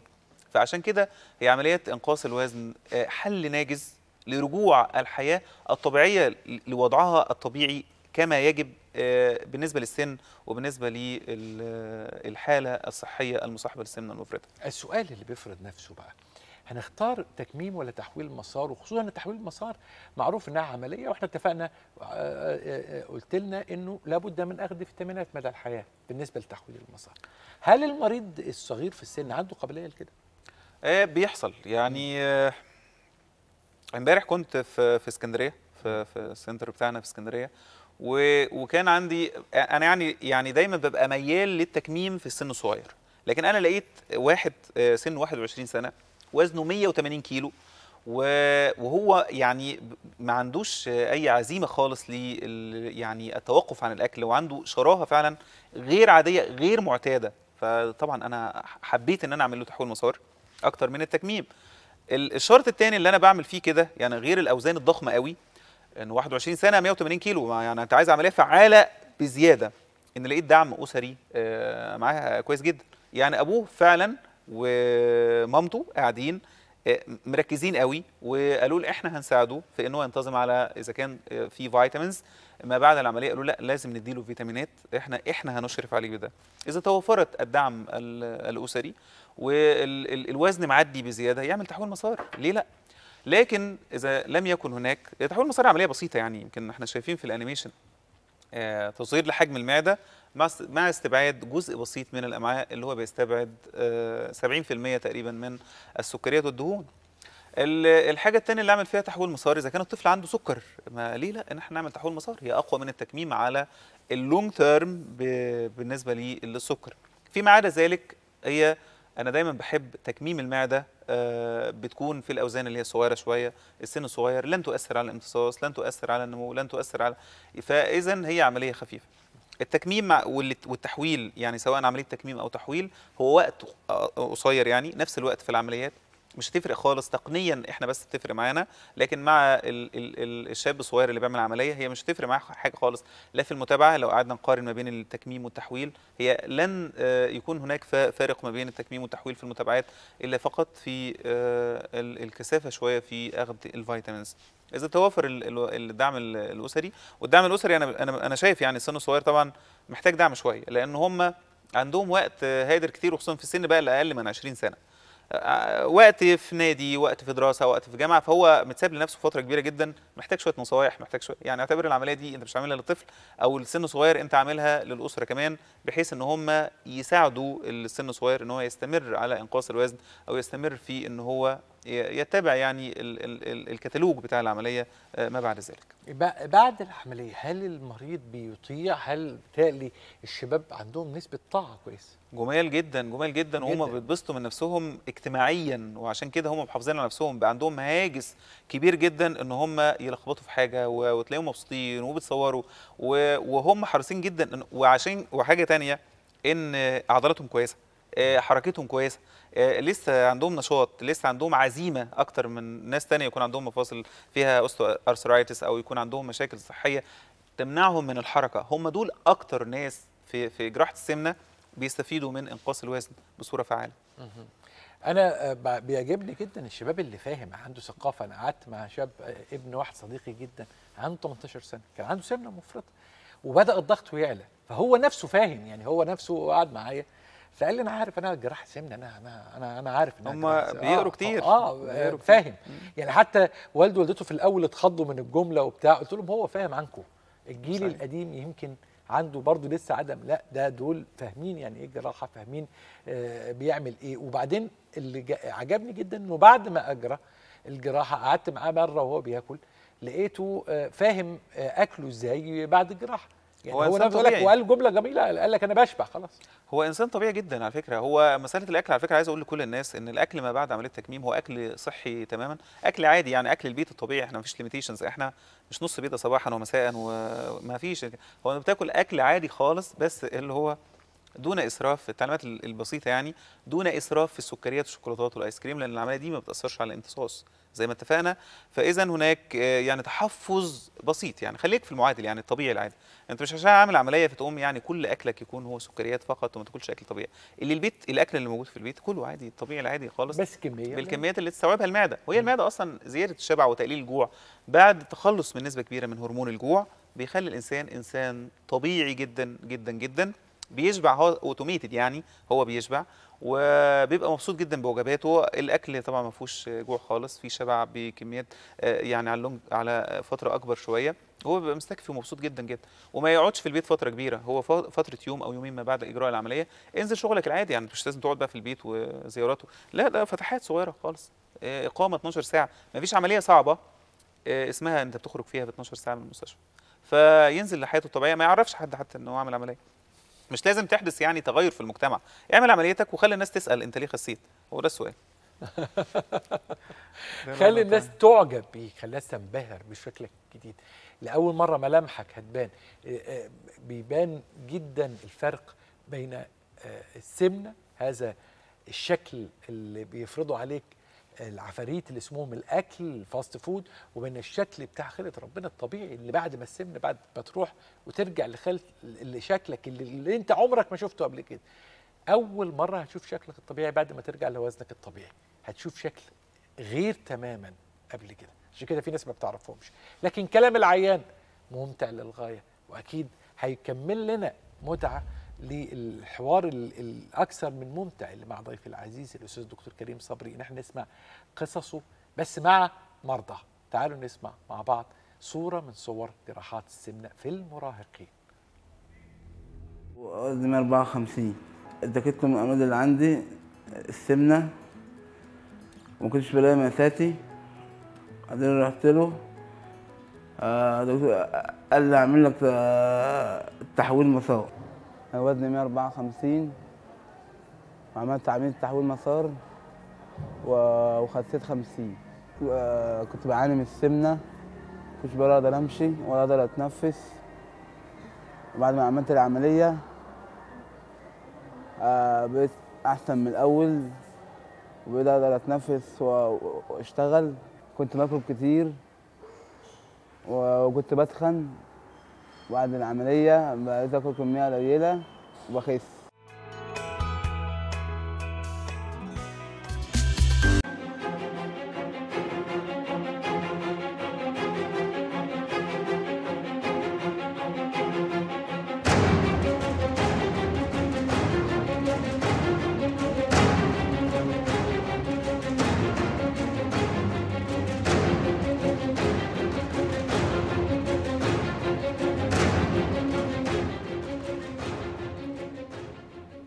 أهلا بكم. هذا يوم من أهم أيام الدكتور أو نقدر نقول أنه اليوم الأهم في تاريخ الدكتور عبر السنوات الماضية. اولا لأن آه، هذا اليوم نستضيف أسطورة كبيرة آه، آه، من أساطير آه، الطب عبر العصور وفخر كبير للطبيب المصري وفخر كبير للطب العربي. وأيضا موضوع الذي سنتحدث عنه اليوم في الدكتور آه، موضوع شديد الأهمية سنتحدث عن البليدنج النزيف. والنزيف من الناحية الطبية عندما نتحدث عنه ينبغي أن نقف أمام نقاط هامة جدا نقاط محددة. أول هذه النقاط انكم أعزائي المشاهدين حتى مشاهدي الدكتور قد لا تعرفون أشياء عديدة عن النزيف. هذا الأمر يجعلنا نقف أمام واحدة من أكبر المواضيع أهمية وأكثرها إثارة وأيضا أشدها خطورة في عالم الطب. ولكن هذا فخر كبير للدكتور أن يكون ضيفان اليوم أسطورة كبيرة في عالم الطب. قدم سنوات عمره مخلصا لخدمة الطب بالمجان وما زال يقدم الكثير من الجهد ما شاء الله فوق ما يزيد عن نصف قرن من أجل أن يقدم خدمة طبية وصورة رائعة للطبيب المصري. أحب لفظ الحكيم عن لفظ الدكتور وقال في كثير من حواراته أن الحكيم هو اللفظ الحقيقي الذي يعبر عن التصرف المنطقي الذي يصيب به الدكتور هدفه إصابة صحيحة ويحقق هدفه المنشود ويحقق النتيجة الصحيحة عندما يكون فقط حكيما. الأسطورة الطبية الحية وأعلم أهل الأرض الذين يتحدثون باللغة العربية وأكاد أجزم أعلم أهل الأرض بالفعل بال internal medicine أو طب الأمراض الباطنية. وأستاذنا أستاذ الأساتذة الفخر الكبير لنا اليوم في الدكتور هو ضيفنا العزيز الأستاذ الدكتور حسام موافي. في حاجتين كبار جدا بيودي العيان للدكتور. الألم والدم. اللي بيقول أي ما يقدرش يقعد في بيته. ما هو تعريف النزيف أو البليدنج لأسباب باطنية؟ مشكلة في الوعاء الدموي ولا مشكلة في الصفائح؟ ولا مشكلة في شلال التجلط. عشان كده لازم نعمل وظائف صفائح الأستاذ الدكتور حسام موافي أستاذ طب الحالات الحرجة كلية طب قصر العيني جامعة القاهرة عميد كلية الطب جامعة مصر للعلوم والتكنولوجيا مدير مستشفى الأمراض الباطنة قصر العيني مدير عام مستشفيات جامعة القاهرة رئيس قسم طب الحالات الحرجة جامعة القاهرة. المعلم المثالي ستة مرات على مستوى كلية طب جامعة القاهرة. الطبيب المثالي ستة مرات على مستوى نقابة الأطباء. تم تكريمه بإطلاق اسمه على دفعة 2015 كلية طب جامعة القاهرة. رئيس الجمعية المصرية لطب الحالات الحرجة. عضو الجمعية المصرية لأمراض القلب. عضو الجمعية المصرية لأمراض الكلى. له 180 بحث منشور في مجالات العلمية والمحلية والعالمية. مؤسس وحدة الحالات الحرجة بالقصر العيني رائد طب الأمراض الباطنة في مصر والوطن العربي. قام بتأليف كتاب الأمراض الباطنة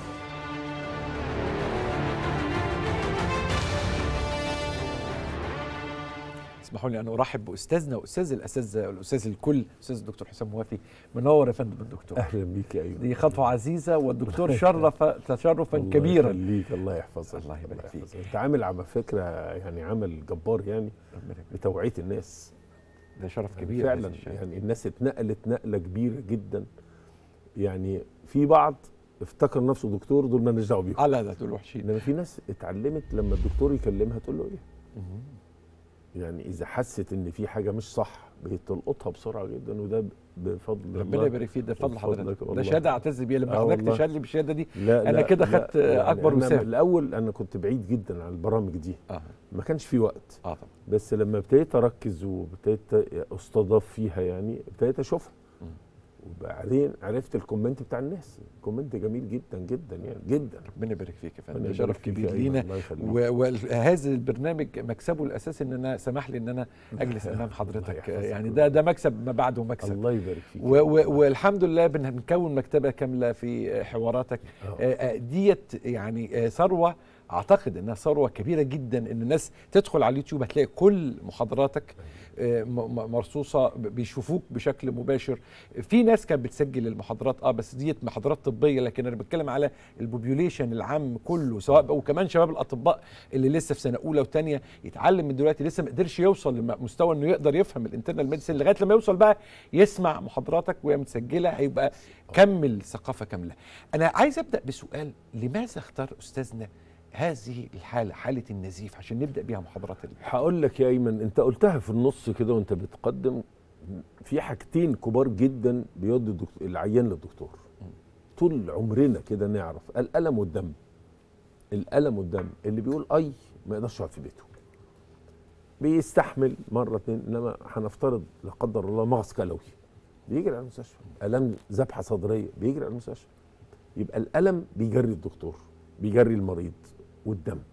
لو شاف دلوقتي الأمور خدت آه، صورة في الدم إن ممكن فعلا يكح دم ويسكت يقول لك هبقى أروح يوم السبت. لا. لا.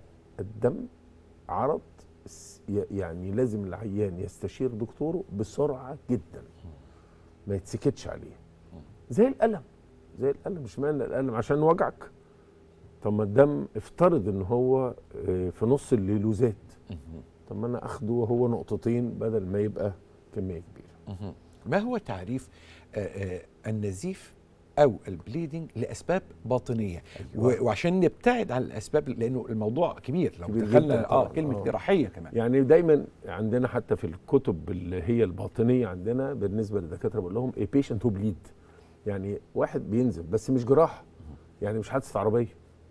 مش مش دوالي مريء مش واحد انفجر فيه معدة أو ورم سرطاني ونزف لا. ده واحد ماشي عادي جدا ومعتقد أنه سليم جدا وشاف الدم. ده اللي هنتكلم عليه.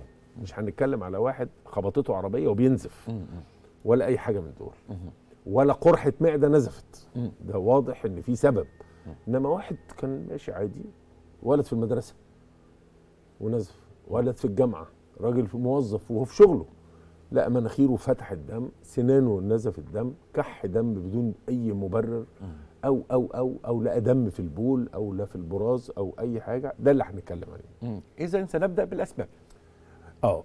قبل ما أقول الاسباب يا أيمن هقول إن ربنا سبحانه وتعالى وسبحان الله عامل حسابه إن أنا هتعور. مفيش شك.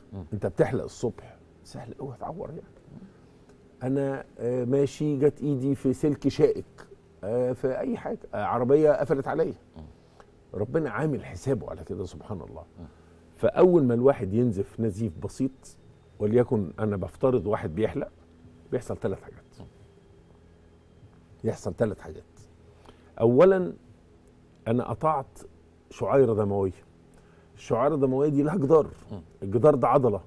فاتفتح العضلة اتفتحت وخر دم. تلم. تقفل. سبحان الله. بس قدرتها على القفل محدودة. والوقت قصير. بس بتلحقني. يروح قافل الوعاء الدموي ده يقوم يمنع الدم إنه يطلع. ده الميكانيزم الأول لحماية إنسان من انه يفقد دمه نمرة اتنين ناخد إخبارية الصفائح الدموية. تاخد إخبارية إن حصل الجرح ده تروح جاية من آخر الدنيا ومن كل حتة وواقفة عند الجرح. طب عرفت إزاي؟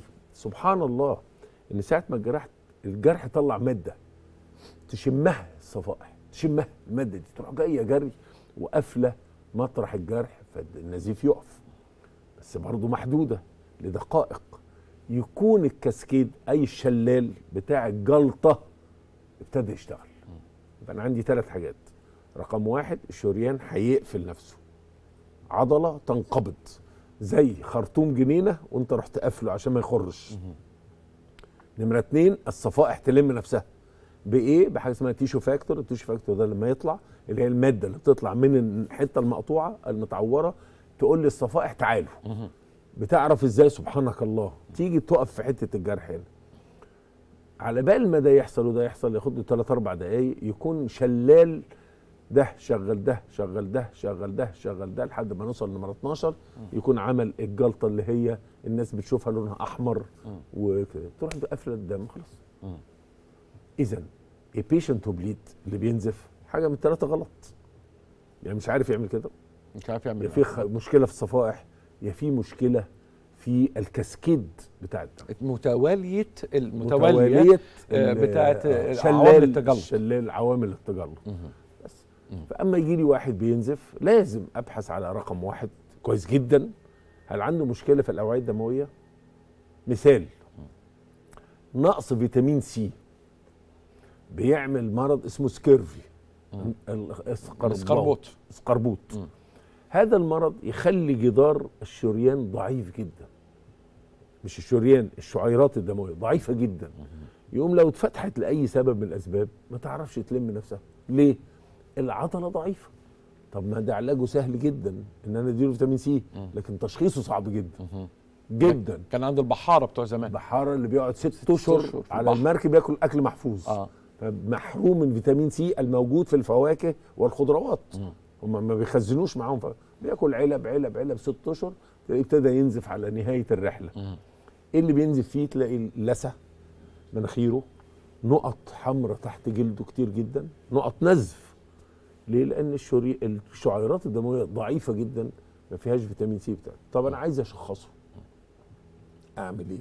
أفضح الشعيره الدمويه افضحها هجيب جهاز ضغط. وأرفع جهاز الضغط بحيث يقفل الوريد لكن يسيب الشريان. هنفترض يا أيمن أنا ضغطي 120 على 80 أنا فوق 120 قافل الشريان. لا مش هعمل كده. أنا هخليه تحت 120 وتحت 80 بس أعلى من الوريد. يبقى أنا قفلت الوريد. يبقى بدخل الدم وما خرجوش. فلو كانت الشعيرة ضعيفة هتفرقع. يبقى فضحته. ده اسمه Hess test. Hess test ده, ده في العيادة يتعمل. ده في العيادة. فأنا هجيب جهاز ضغط وأعمله. إذا قال لي أنا بنزف وكده إذا طلع كده خلاص. دي اسمها vascular purpura للدكاترة. vascular purpura يعني النقط الدموية اللي بتيجي نتيجة ضعف في ال capillaries اللي هي الشعيرات الدموية. الحمد لله بفضل الله إنها ممكن تكون فيتامين سي بس أو الكبار. راجل كبير 80 أو 85 سنة تلاقي جسمه فيه نقط حمراء كده. ال vascular purpura يعني لو اللي, اللي جده عايش يروح يبص على جده يلاقي فيه نقط حمراء بسيطة كده بس أو مع انقطاع الدورة في ال menopause أو بعض الحميات. زي ال typhus آه. اللي ده اختفى نوع من الت- من من الحميات. الحميات آه. أو meningitis الالتهاب الالتهاب السحائي يحصل معاه ضعف في الشعيرات الدموية. يبقى أنا عندي مجموعة كاملة من أمراض بتعمل ضعف في الشعيرة الدموية تنتهي بنزيف. إما نزيف تحت الجلد أو من مناخيري أو من أسناني وعادة ما بيبقاش نزيف قوي قوي ليه؟ لأن هو ال mechanism رقم واحد أنا فقدته. وهو إن لما اتعور ما أعرفش اعمل كده. تقول لي طب أنا ما اتعورتش أقول لك طب ما هي ضعيفة. ممكن تفرقع لوحدها. واللي بيشخصوا الهستس. اللي هو بجهاز الضغط. نمرة اتنين مهمة جدا جدا خصوصا الزمن ده اللي جميع الناس قاعدة تبلبع في أسبرين. كل الناس. يقول لك أنا باخد أسبرين احتياطي. وتلاقي شاب 23 سنة. آه. ولا عنده عيلة فيها شريان تاجي.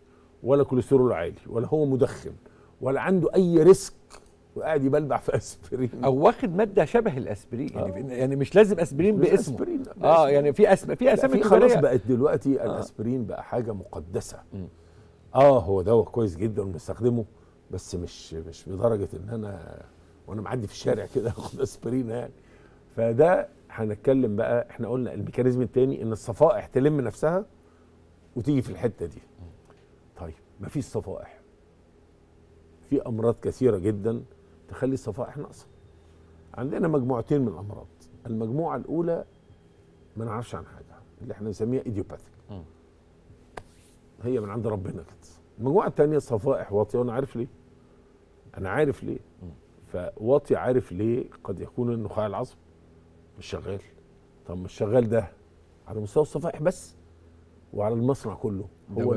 آه المصنع بيعمل ثلاث حاجات. صفائح دموية وكرات دم بيضاء وكرات دم حمراء. بان سيتوبين آه فلو نخاع العظم بايظ يبقى الثلاثه راحوا. يبقى لما يجي لي واحد بينزف واعمل له تحليل دم ألاقي الصفائح واطية ومعاها كرات الدم البيضاء واطية ومعاها الكرات الحمراء الدم واطية خلاص. آه. المصنع قافل يا رجاله المصنع قفل. إنما صفائح بس قد تكون.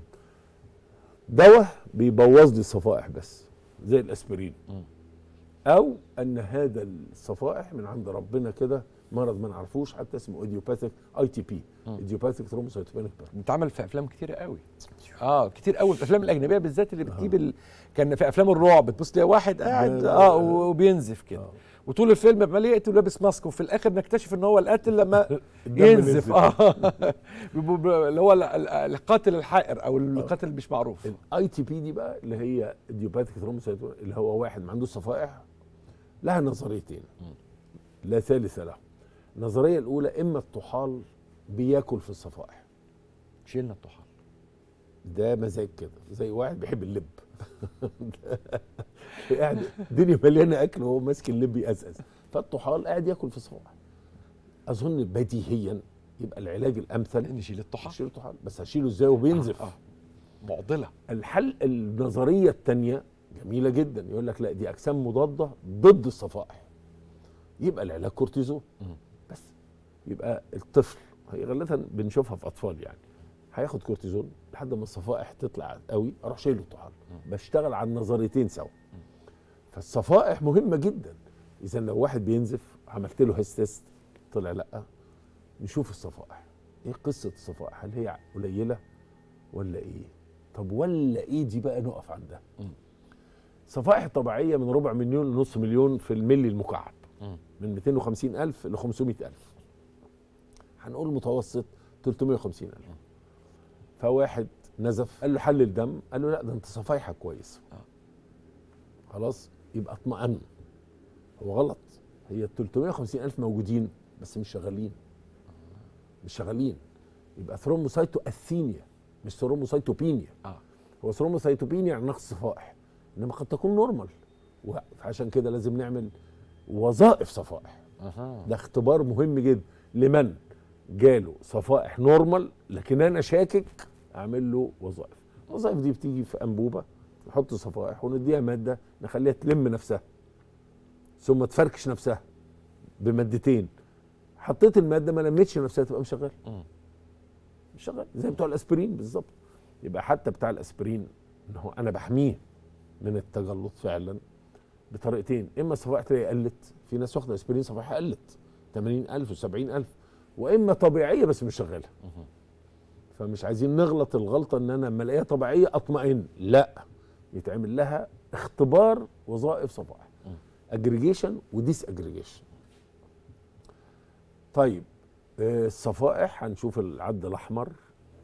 واطي صفائح واطي يبقى المصنع مش شغال يبقى نبتدي نفكر بقى هنعمل إيه ده وإيه السبب. لما أسأل واحد سؤال سهل قوي كده أقول له طب العد الأبيض عالي جدا. والصفائح واطية جدا والكرات الحمراء واطية جدا. تقول لي مصنع بيعمل عربيات وموتوسيكلات وعجل. مم. مصنع في الصين مم. بيعمل عربيات وموتو... طلع قرار رئيس جمهورية الصين قال لهم أنا عايز عجل بس. مم. خلاص؟ فهتلاقي كمية العجل عجل في آه، كل على حساب مين؟ على حساب العربيات والموتوسيكلات. والموتوسيكلات. ده اللي بيحصل في النخاع العظمي آه. بالظبط. في سرطان الدم كرات الدم البيضاء بتزيد. أدي الموتوسيكل أدي العجل. مم. فبتنفي أو تلغي اتنين في المصنع الكرات الحمراء والصفائح. آه. يبقى ده عالي يبقى مش شرط إن الثلاثه واطيين. ممكن الكرات البيضاء تلاقيها عالية جدا جدا. في سرطانات الدم على حساب الصفائح الواطية جدا وكرات الدم الحمراء الواطية جدا. فده آه، أحد الأمراض الخطيرة جدا. زمان حضرتك كنت شبهت لنا ال- اللوكيميا أو سرطان الدم بهتلر في الحرب العالمية الثانية لما خلى كل المصانع تعمل مدافع. بس بس. بس. خلاص كل المعدن مش لاقيين. ما- آه مش لاقيين شبشب. بالظبط. مش لاقيين أي حاجة. ده اللوكيميا. آه ده اللوكيميا. كل المصانع المصنع بيعمل كرات بيضاء بس آه. فبيطغى على كل حاجة اللي هو النخاع العظمي فالصفائح مهمة. هنسأل بقى سؤال حلو جدا جدا للدكاترة. هل Hess test اللي أنا عملته في الأولاني اللي هو ال vascular اللي بيفتح الفصل. هل يطلع positive في الناس اللي عندها نقص صفائح؟ منطقيا يقول لي لأ. ليه لا تعالى بقى اسمع. الشعيرة الدموية الصفائح مرصوصة على جدارها. والباقي هو 50% marginal و50% circulating 50% لازق و50% شغال احتياطي. فعندما تقل قوي الصفائح اللي لازق ده يفك فيضعف الجدار. يبقى زيه زي مين؟ زي الأولاني. يبقى Hess test may be positive ليه؟ لأن في severe thrombocytopenia فال platelet اتاخدت ال marginal بقت circulating يعني اللي كانت على الجدار بقت دايرة فبقى ضعف نزيف ال- الصفائح نزيف شديد و spontaneous لوحده. مهمة جدا. قاعد بيتفرج على التلفزيون. آه وكح فهو severe و spontaneous عشان الدكاترة 2 S عشان ما ننساش severe يعني severe، عنيف. عنيف. spontaneous يعني لوحده. لوحده. لوحده يعني بلا ضربات ما اتخبطش ما كانش مثلا بيخلع سنة مش عارف خالص. إيه خالص. أه. عشان كده لا عجب بتاع الأسبرين لما يلاقي دم. لا عجب. يقول أنا بكح لقيت دم في كحه مع إني ما اتخبطتش ولا أي حاجة. سناني آه لقيت آه كدمات لقيت نقط حمراء. لا عجب. أنت مش واخد أسبرين؟ بقى عندك مشكلة في الصفائح. تقول لي طيب ممكن الجلطة تحصل من غير ما تعور؟ طبعا. طبعا. امال اللي عنده جلطة في القلب حصلت إزاي؟ واللي عنده جلطة في المخ واللي عنده جلطة في رجله وح- وحصل عليها مشاكل. طب إزاي أعمل جلطة وأنا من غير ما أتعور؟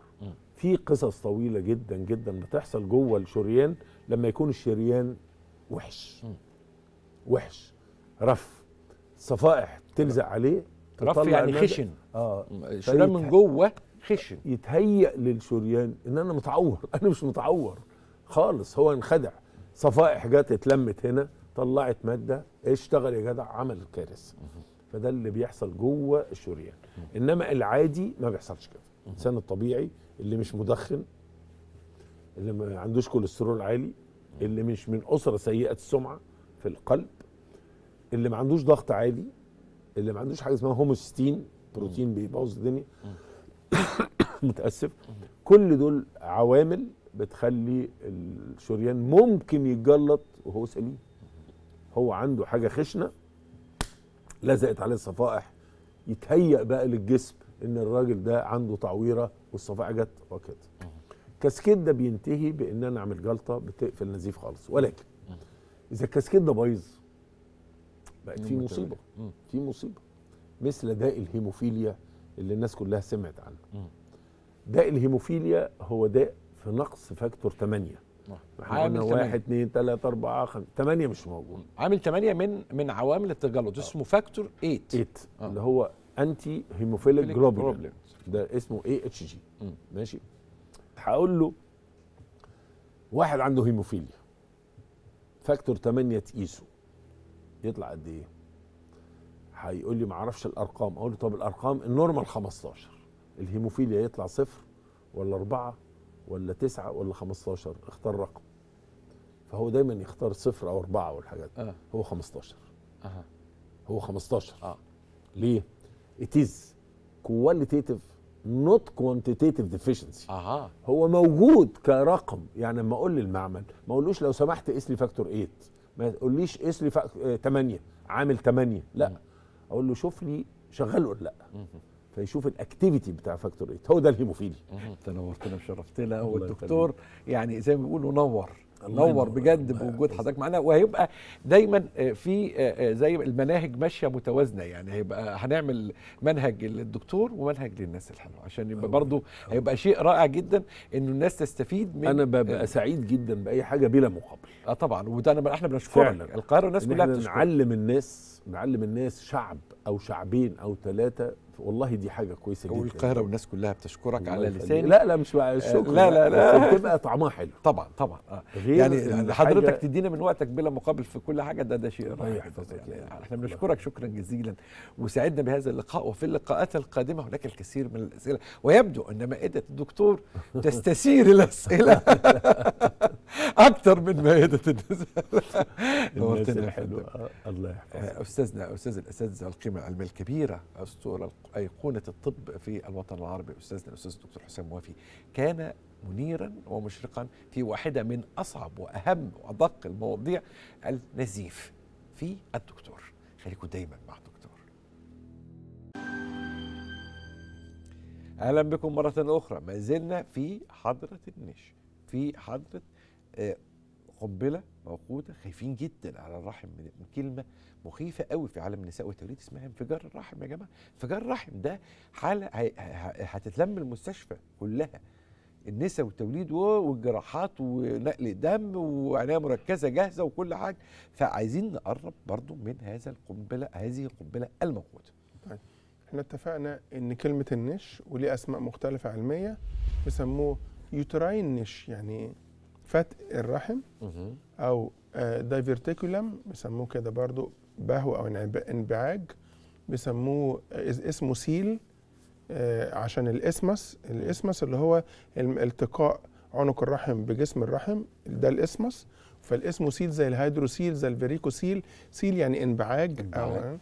أو, أو هيسموه حتى آه، كل المسميات المختلفة ده آه، أو hernia. كل المسميات المختلفة دي عشان نقرب عشان وكانت ال- إيه إيه المسميات؟ مش مهم الأسماء بقى قد ما التأثير اللي إحنا عاوزين نقوله لهذا ال- الجزء البسيط اليسير اللي بتبقى موجود. اللي في الآخر خالص بعد ما تعرفنا عليه هنتعامل معاه إزاي؟ هنشخصه إزاي؟ سواء كان بالسونار أو بال MRI وإذا كنا بعد ما شخصناه هنتعامل مع أو بال hystero hysteroscope بالمنظار الرحمي وبمنظار البطن وبعد كده نتعامل مع ال ال ال الأشكال المختلفة من ال niche. إزاي دور الإضاءة داخل المنظار نتعامل معاها ونعمل ال dimming ونقلل زي ما عارف لما يكون عندك إضاءة وتقللها وتعليها عشان تكشف حاجة معينة أو عاوز تقرأ قراءة معينة عاوزين نقرأ قراءة ال defect أو هنا ال- المشكلة اللي موجودة داخل الرحم والضعف الموجود يبقى باين قوي بإضاءة بشكل معين. ونقارن الإضاءة بالإضاءة ونشوف ال more brightness اللي بيبقى يكون ضوء شاهق بالمقارنة بالضوء ال- ال- الطبيعي اللي موجود داخل الرحم ونقدر نقول أدي ال niche. فتعال نشوف داخل غرفة العمليات ببساطة تخدير معين أو بسيط. عاوزين نملى الرحم ده بال saline بمحلول الملح. ونملى التجويف الرحم بال saline فبالتالي هيتملي بالملح وبعدين يبدأ يحصل cracks دي يخرج محلول الملح يخش فيها فنقدر نكتشف هنا ال defect الموجود. ومن خلال اكتشاف ال defect نعرف هنا إن في مشكلة. آه. تعال نشوف. آه، آه، ال niche إزاي تشخيصه داخل آه، قلنا بالسونار. نقدر نبص عليه نبص نشوف. كده نشوف بالصوت والصورة تشخيص ال niche. دي المريضة بتشتكي ب post-coital bleeding فقط. مفيش أي حاجة غير كان عندها آلام وتعمل لها منظار وتحسنت الآلام ولكن الحاجة الوحيدة اللي مضايقاها إنها في دم بعد الجماع هنحقن المفروض إن ده الرحم.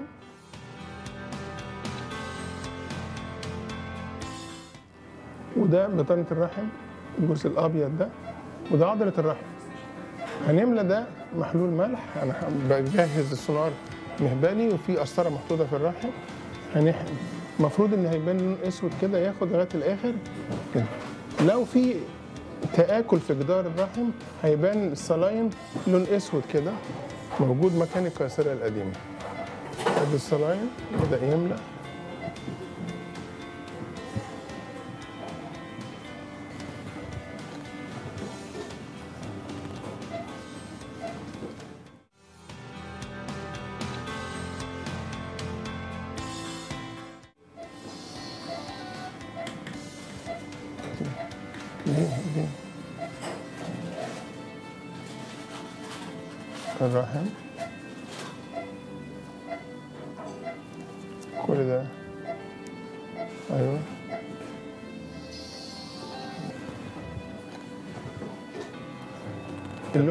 ده اللي متاكد كأن في شرخ في جدار الرحم. أدي جدار الرحم الخلفي وادي الأمامي. تلاقي الصلاين ملأ وبعدين دخل بين ال عضلة الرحم. يعني كأنها مش مكتملة كأنها شرخ موجود فيها. فبدأ الصلاين يخش في الشرخ ده. ده أكتر حاجة نكشف بيها ال- النش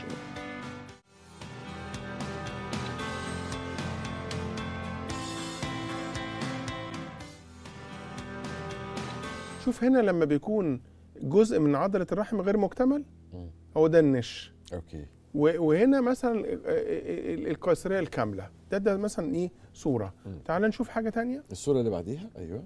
هنا برضو هنا لو حصل تآكل في جرح قيصرية سابقة بيبقى موجود ويحصل انبعاج هنا بقى إن هيخرج كيس المية بسبب إن كان في ضعف في جدار الرحم. تعال نكمل صور تانية. دي الرحم البيبي بيبقى داخل قيصرية داخل قصد الرحم ومكان القيصرية القديمة اللي ممكن يبدأ إيه؟ ينغمز المشيمة جوه وتبقى مشاكل رهيبة جدا لو إحنا سبناها أو إن إحنا بيبقى في ضعف في الجدار أهو جرح القيصرية السابق وممكن يحصل إيه؟ من قوة انقباض الرحم يضعف النش الموجود ويحصل انفجار ساعات ومعظمه آه، يبقى، آه، انفجار صامت وما أكثر من القتلة الصامتون بيبقى موجودين.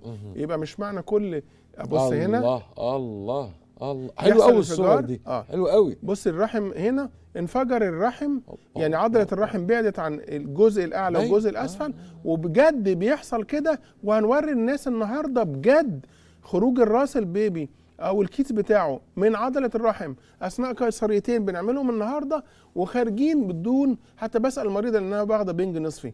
هو أنت ما شعرتيش بمشكلة أثناء الحمل؟ لأ. وأنت لدرجة أقول إيه؟ مش كل سكوت يعني مش كل صمت هو كويس مش كل سكوت علامة رضا. ساعات السكوت الذي لأن يسبق الانفجار. يسبق الانفجار. تعال نكمل بقى نشوف مشاكل. ده آه ده صور قد إيه بقى إن ممكن يحصل مشاكل وجنين و... ويخرج بره الرحم قد انفجر وسقط بره ونيجي نفتح نلاقي ال baby في البطن بالكامل.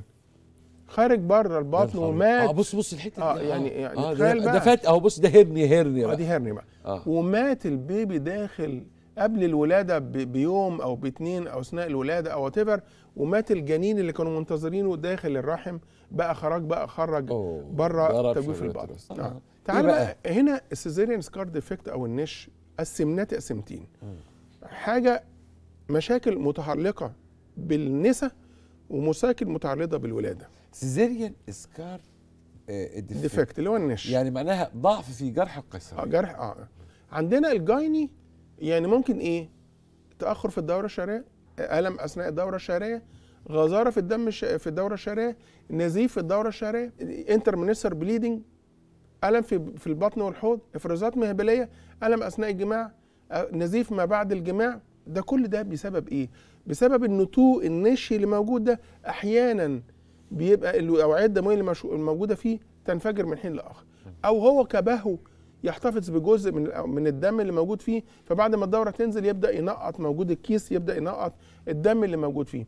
أو بعد الجماع يحصل انفجار لبعض الشرايين أو الشعرات الدموية اللي موجودة فيه ويحصل دم موجود ويبقاش معروف إيه. أو يبقى فيه التهابات موجودة مستمرة منه. تأثيره لو علاقة بالحمل تأخر الحمل. نتيجة إيه؟ الالتهاب الموجود بيخلي بطانه الرحم غير مؤه- مؤهلة. انه إيه بيحصل إيه؟ لما بيحصل قصف بعد الجماع الحيوانات المنوية الحيوانات المنوية وهي طالعة تلاقي بهو أو دهليز جوه روح داخلة جواه وما تكملش رحلتها. كأنه انترابد و- واصطاد كل الحيوانات المنوية وبالتالي تلاقي المريضة قاعدة سنة واثنين وثلاثه رغم إنها بتحمل طبيعي ما بتحملش طبيعي. أو إن يحصل حمل خارج الرحم بس في جرح النش أو انفجار الرحم أثناء الولادة أو انفجار الرحم صامت اللي موجود آه. أو حاجات تانية مش موجودة انفجار مكتوبة. صامت للرحم. يعني بقى الست ما تقدرش؟ خالص. أو أو كمان ممكن يحصل إيه؟ البلاسينتا المشيمة بقى وما اخطرها المشيمة اللي تلاقي مكان فيه أنت عارف المشيمة بتقعد تحفر عشان تلاقي مكان تنزرع فيه. المشيمة لاقيه حفرة سهلة فتنغمس فيها. ونلاقي يعني يعني تخيل المشيمة دي كأن ليها علاقة وديالوجات الاوعيه الدموية بتاعتها والخلايا الراده بتاعتها اللي هتبدأ تن- تنغمس في جدار الرحم لا هي مكان سهل فانغمست فيه. ولا في كأن في chemotaxins يا كأن في خلايا مغناطيسية تقدر تجذب الجنين بدل ما يبقى فين في ال mid-uterine أو حتى في ال embryo window بتاعه الشباكة والنافذة اللي بيحصل فيها تنزل تاني. واحيانا يطلق على ال niche ال uterine window وكأن ده نافذة الرحم. آه. وكأن إنك أنت تقدر عارف بالسونار. السونار عبارة عن كمبيوتر صح؟ والكمبيوتر فيه برنامج اسمه ال window صح؟ فمن خلال ال window بتاع الكمبيوتر تكتشف ال window بتاع الرحم شباك الرحم عشان من خلاله تطل من هذه النافذة على العالم الأرحب للمشاكل اللي ممكن تتم في الأرحام ومشاكل اللي تتم في أجساد المرأة وتقدر تتوقاها لو لو إحنا بجد ذاكرناها وقدرنا نتخيلها في المراية الجانبية والبقعة السوداء أو العمياء اللي موجودة في المراية الجانبية ال misdiagnosis قدرنا نتخطاها. وقبل ما أعدي بعربيتي وقبل ما أعدي بتشخيصي مع المريضة أبص يمين أو شمال بلفتة كاملة عشان لو ال niche ده ما توقعتوش كان يعلمونا زمان على الحمل خارج الرحم. If you can't smell it you can't diagnose it. لو ما شمتوش على بعد مش هتشخصه. النش هو أوقع. لو ما شمتش من خلال المريضة وهي بتشتكي. وأحيانا البوينتنج إنك تقدر تقول هنا في تشخ... هنا في نش هنا في ألم هنا في التصاق تتخيلوا ان إنه دايما الالتصاق ما بين جدار الرحم ما بين جدار المثانة ما بين أحيانا ال anterior abdominal wall يحصل التصاق ويحصل مع ال deepest part مع أعمق نقطة في قيصر في جرح القيصريه عشان كده حتى بنسميه ال kissing bladder المثانة ال- ال- الملامسة قبلة آه، أو- قبلة آه. مقرب قوي من المثانة تعال نشوف بقى المريضة اللي مفتوح بطنها أكتر من مرة اللي أنت متوقع يبقى فيه. التصاقات آه. وإن إحنا نقدر نعمل منظار وبعد كده نبدأ نكرر دي العملية بتاعتها. دخلنا بالمنظار زي المتوقع رحم والتصاقات موجودة وأحيانا بتبقى معانا بطانه رحم مهاجره يعني ممكن يجو أدي أنابيب مرتشحة. معانا أحيانا أدي القولون الحوضي ملتصق في جدار الرحم في جدار الحوض. أدي الأنابيب باينة إنها مرتشحة. أدي الرحم. إحنا أحيانا بيبقى أكتر من ضيف ثقيل الظل موجود يعني مريض مرض موجود ويبقى يتصادف وجودهم مع بعضهم وأحيانا ليهم ارتباط ببعض تعال نشوف بقى إيه إن إحنا ممكن حد يخش فيلاقي هنا المشكلة موجودة إن في التصاق في باسم بالقولون ب- ب- بالهيدروسالمنكس أو ارتشاح الأنابيب اللي موجود بالكيسنج أوفرز بالمبيضين الملتصقين اللي فيهم بطانه رحم مجرى يقول لك إيه؟ هو ده سبب الألم هي المشكلة خلصت كده. لا هتطلع المريضة لسه بتشتكي. هنبدأ هنا نفك الالتصاق اللي موجود. ده ده عادي جدا. ده إلى الآن ده عادي. ده بص هنلاقي كمان إيه في بطانة رحم مهاجرة موجودة. برضه يعني أحيانا يتصادف أكتر من مرض واحد في مريضة واحدة؟ آه. كان ليا تشبيه دايما إن ممكن جدا اللي يدخلوا يسرقوا مكان أكتر من المجرم مش متفقين. أنا سمعتك في دي وكانت عجباني جدا. آه آه عجباني جدا إن فعلا ما تقولش إيه ده ده حرامي أهو. ده ممكن يكون اتنين. ممكن يكونوا ثلاثة ثلاثة وأنت بس آه. شفت حرامي فتخ... فركزت مش عاملين. عصابة ده هم آه، كل واحد جاي. بالصدفة. لوحده. وهما هنا ال- ال- الموضوع هنا بقى إيه؟ أكتر بجد من مرض في نفس التوقيت في نفس جسد المرأة. هنا بدأنا نفك الالتصاق الموجود في ال uterosacral ال- الرابطة العجزية والموجود مع الكولون واللي موجود مع ادي المبيض اللي بقى entangling وبقى متاخد في الالتصاق وعامل مدفون dyspareunia ألم رهيب جدا وألم في. الدورة وهنا ممكن يكون إيه؟ التشخيص تم على كده. لا. ال dyspareunia ألم في وال dysmenorrhea عاوز أقول لك إن ال chocolate cyst اللي موجودة وهي عاملة MRI مش مكتوب في التقرير. مش معنى كده إن ال MRI هو اللي غلط. اللي قارئ هل أنت قمت بدورك حقيقة أو لأ؟ إحنا مش الهدف هنا كمان إن أنا أتكلم على أخطاء أو لأ. أنا عاوز أقول إني آدي المرض ممكن يكون موجود وبرضه يجي في النقطة. العامية اللي في التشخيص ويضل تشخيصه ويعدي.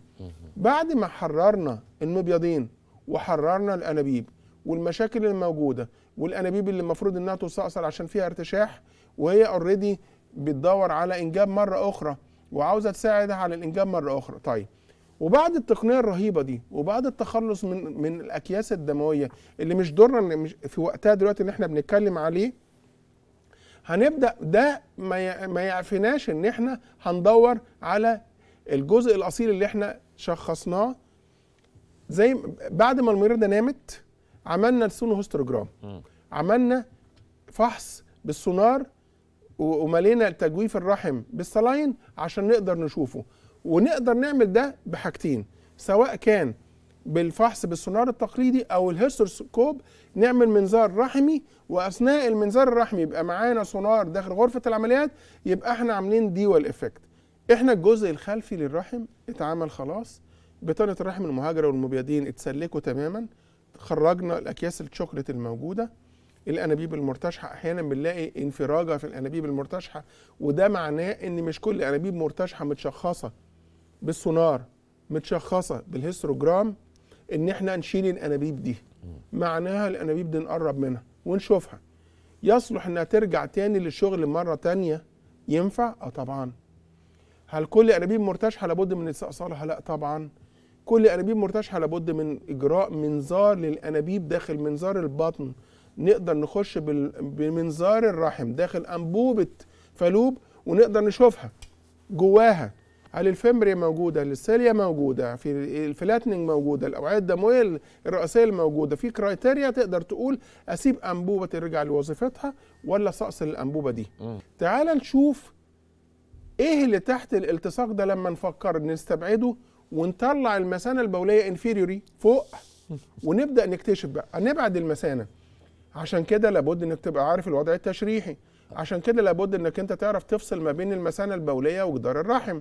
عشان لو. أنت بتقدر تعمل استئصال رحم بالكامل بالمنظار لابد إن أنت تستبعد المثانة البولية الأول. وبالتالي تقدر تعمل إيه؟ تفك المثانة البولية تبعدها عن حاجتين. أحيانا عن عنق الرحم بالكامل زي ما إحنا هنا أهو استبعدنا. بعد ما استبعدنا المثانة البولية بقت فوق وبعد ما خلينا عنق الرحم هيبدأ يبان عاوزين نكشف بقى بمنظار الرحمي ومنظار البطن وجود الفتق والتخلص منه إزاي. طب هنبدأ هنا. إحنا دلوقتي بالمنظار داخل تجويف ال- المنظار الرحمي فوق. يعني إحنا دلوقتي منظار البطن باصين. على هنا إيه؟ بنقرب بعنق الرحم. تعال نقرب من عنق الرحم. هي سبت الصورة لوحدها. بس هنا بقى بص الاضاءه هنكشف إيه هنا بالإضاءة؟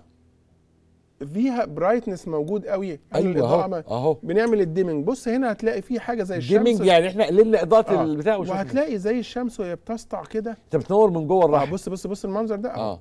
شايف ده ان الاضاءه حتى عندها مختلفة لأن إحنا يا دوبك بنبقى تحت عضلة الرحم متاكلة والبريتون بس اللي مغطي فبالتالي بيبقى الضعف موجود ونقدر نشوفه ونكشفه بالمنظار. بعد ما نكشفه بالمنظار بقية الرحم يا جماعة اللي حوالين الفتق اضاءه ده عادية. إضاءة آه، مش منور بالطريقة آه مش دي. بالطريقة دي. آه لأن الجدار الجدار حوالين الفتق تخين. بشاور هنا آه. رفيع. آه. بشاور. شايف أنا عاوز كنت أوصل الصورة دي للناس. شوف الإضاءة الحمراء دي إحنا نفس ال- ال- ال hysteroscope بإضاءته universe عامة جدا في الرحم. بس قدرنا بال dimming ده إن إحنا نقلل الإضاءة ونقرب بالعدسة كشفت الإضاءة وكأن الشمس هتسطع بقى من من من ضلمة الليل. فتبان جدا بالصورة دي إنها more bright في لمعة جدا وشاهقة جدا. هو ده الضعف اللي موجود. اللي نقدر بعد كده نعمل له إيه؟ نعمل له trimming يعني نعمل إيه؟ نستأصله عشان نجيب fresh tissues عشان نجيب نسيج تاني صح حي ونخيط بقى فوق بتحت بالطبقة السفلى بالطبقة العليا وساعات بيبقى بنخيط عنق الرحم بالرحم. ساعات بنبدأ نستغل الإضاءة الخافته دي وأبدأ من خلالها أبدأ بسلك أهو وبكمل تسليكي عشان ألاقي عندي سبيس أقدر أخيط وأقدر أخيط الرحم من جديد. بمسك أهو بالتوزد بف- بفورسبس لسن عشان أمسك الجزء السليم. ومن خلال كده هبدأ بالمقص أقص الجزء ال- اللي هو fibrous tissue المتاكل بص أول ما قصيت المية خرجت بتاعة ال hysteroscope الله. المنظار الرحم اللي تحت. آه. يبقى أنا على ضوء الإضاءة بتاعة ال hysteroscope آه، خدته ك guidelines. وشوف شوف اللون الأبيض بتاع الأنسجة الليفيه دي اللي موجود. defect بسيط موجود. مطرح القيصرية في non-pregnant uterus مش رحم مش حامل أقدر أستأصله وأستبعده كان عامل مشاكل رهيبة جدا للمريضة من ألام ومن نزيف ومن تأخر إنجاب مضاف؟ لي اللي كان بالصدفة اللي حاجة مش pathology ليه علاقة ببعضه كان في عندها بطانه رحم مهاجر هو اللي إحنا بنشيله ده إيه؟ ده ال niche ده ال niche آه. ال fibrous tissue اللي بيتاخد ويتعمل له histopathology. عشان يتأكد كمان بال histopathology ان ده هيجي لك كده حاجة اسمها إيه؟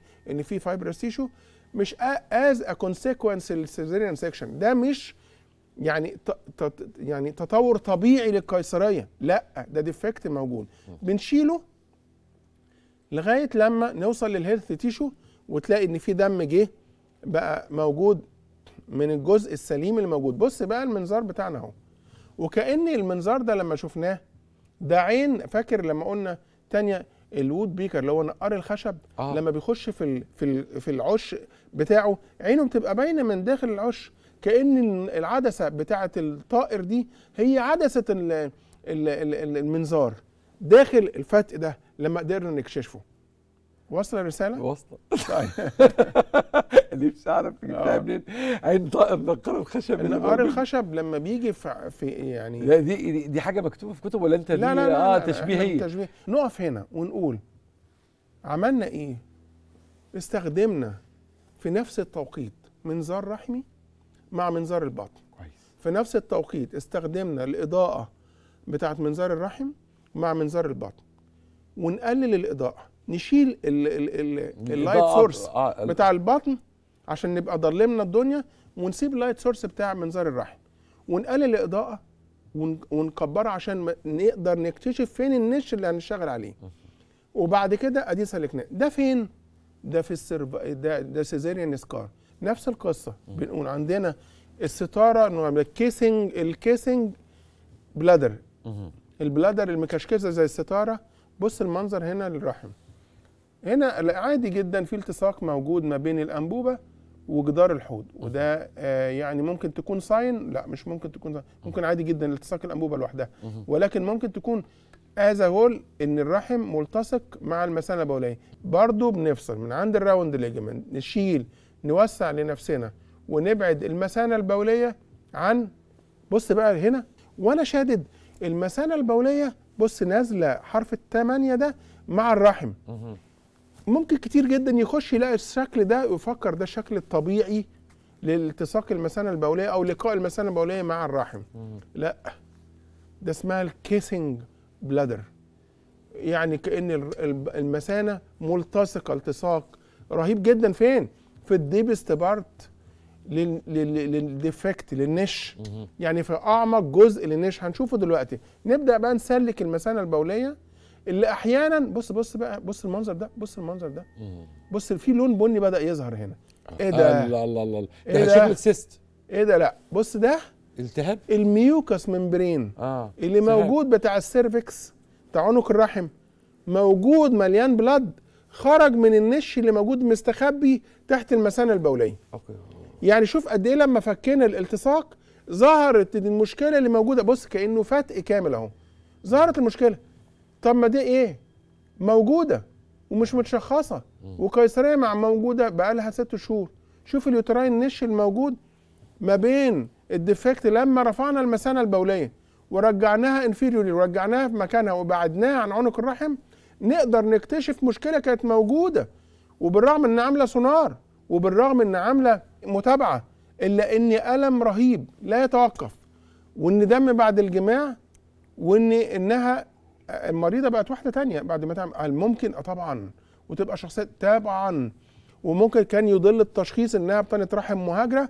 ده مجس. عنق الرحم. اللي إحنا بنقيس بنخش بيه المجس ده كنت عاوز أثبت. ال defect اللي موجود والفتق اللي موجود اللي دخلنا بيه من عنق الرحم لأن عنق الرحم مش مكتمل مع الرحم وعامل ال defect ده الموجود. وده عشان بيسموه هنا بقى إيه؟ ممكن يجي ال niche لأن كانت القيصرية موجودة تحت منخفضة. لو لدرجة إن ممكن يبقى فين؟ في عنق الرحم. موجود. حد فتح تحت قوي في حد فتح في ال segment بقى إيه؟ لا فتح كمان عند عنق الرحم. آه، برضو. نفس القصة. بنعمل إيه هنا برضو بقى؟ مش محتاجة الإضاءة لأن إحنا مكتشف من أول الالتصاق لما فكناه وبدأنا نعمل برضو نشيل ال fibrous tissue ونخيط هنا الرحم. هنخيطه فين؟ بإيه؟ بص برضو في تكه هنا يا دكتور. عين لما الرحم كان اتخيط نخيطه سواء انتربتد سوتشر يعني يعني خياطة غرزة بغرزة أو كونتينوس متكاملة يعني على على بعضها زي ما بتسرج ولكن ما تعملش حاجة اسمها الانترلوكينج سوتشرز يعني إيه؟ ما تاخدش غرزة ما بين كأنها الحرف ال- بتقفل الغرزة وتنزل عشان دي بتقفل الأوعية الدموية فتضعف المكان ده فتؤدي ممكن تعمل نش مرة أخرى. بتحرم الأنسجة من الدورة الدموية المنضبطة في المكان ده فتؤدي إلى إيه؟ تليف موجود مرة أخرى. نبدأ نخيط الأنسجة. بناخدها في two layers زي ما إحنا شايفين كده ونبدأ نروح one layer ممكن forward وال layer الثانية backward بنستخدم إبرة بشكل معين الفايكريل ده موجود وممكن نستخدم ال PDS بتستخدم ابره 50 round وتبقى عشان تقدر تخش في ال cervix تبقى موجودة. طيب. نعمل إيه بعد كده؟ بعد ما عملية- بتخيط وقفلنا شلنا شلنا وقفلنا بنيجي تاني بال hysteroscope وندفع المية بتاع ال hysteroscope. إحنا بنملى الرحم saline وبنخش بالعدسة. فنشوف تجويف الرحم. لما نملاه saline تاني عشان نعمل حاجة اسمها water tight ما يجيش مية تاني. وبعدين نبص بال illumination بالإضاءة عشان نتأكد تاني إن ال defect اتقفل. trans الترا- اللي انت الحركة لا، اللي عملتها آه، عشان ما يبانش. مرة تانية آه. إن في defect وقفلنا عليه. ليه هنا بقى؟ عاوزين نتأكد هل إحنا جبنا كده دلوقتي سيزاريان سكار موجود في جرح القيصرية؟ واحدة تانية اللي موجودة في عنق الرحم؟ تعال نشوف واحدة ثالثه المريضة بتشتكي شكوى رهيبة. لا تتوقف عملت كذا عملية جراحية والألم مستمر موجود. تعال نشوف الحالة. أنا مستمتع جدا جدا. وهقول لكم ليه. تعالوا نشوف بس الحته التانية. مدام عزة من سوهاج 36 سنة خليفة مرتين قيصرية. آخر آه، بنت من خمس سنين اتفتحت بطن 2016 على أساس إنها ورم ليفي آه، أثناء فحصه طلع إنه في في تآكل وفي شوية تغيرات موجودة في الورم الليفي بعديها بسنة شكوا إن في فتق داخل الرحم ممكن يكون مطرح استئصال الورم أو مكان القيصرية آه، اتعملت مرة تانية فتح بطن وتصلح الفتق وبعدين بدأت تشتكي إن في آلام في بطنها. بالمتابعة طلع إن في mass كبيرة داخلة في تأخر حمل سنوي. نفسها تحمل مرة تانية. ده واحد اتنين. بعض التغيرات اللي بتيجي مع الدورة أحيانا بيبقى فيه بعد ما الدورة تخلص ينزل نقط دم. ما عندهاش الام في الجماع ما عندهاش الام في الدورة ما فيش الام في الفحص. اتقال لها إنها آه، يعني لازم تشيل الرحم. بنعمل آه، منظار بطن رحمي في نفس التزامن عشان نشوف هل في defect أو لا؟ دخلنا المنظار الرحمي آه، لقينا إن الرحم كأنه فيه double cavities يعني كأنه مقسوم. فوق عنق الرحم مباشرة أو قبل عنق الرحم وبعدين تخش في التجويف الثاني كان عندنا dome like كأن زي القبة كده ومقلوبة عندنا. دخلنا منظار البطن شفنا المنظر اللي إحنا نبدأ نشرحه دلوقتي كده. ده فيه شوية التصاقات عادية من منديل البطن مع القيصريات. الرحم أهو. ده الفندس بتاع الرحم.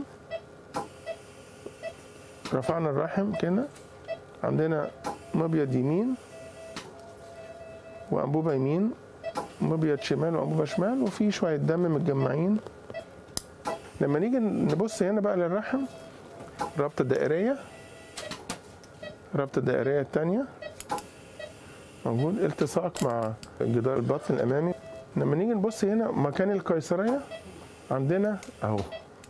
cyst like structure هنا. كأن في كيس كامل موجود هنا. الكيس ده جاي في نص الرحم الأيمن. هو نازل أهو علاقته ادي المثانة البولية. منظار المثانة. ادي المثانة البولية. متاخدة معانا أهي.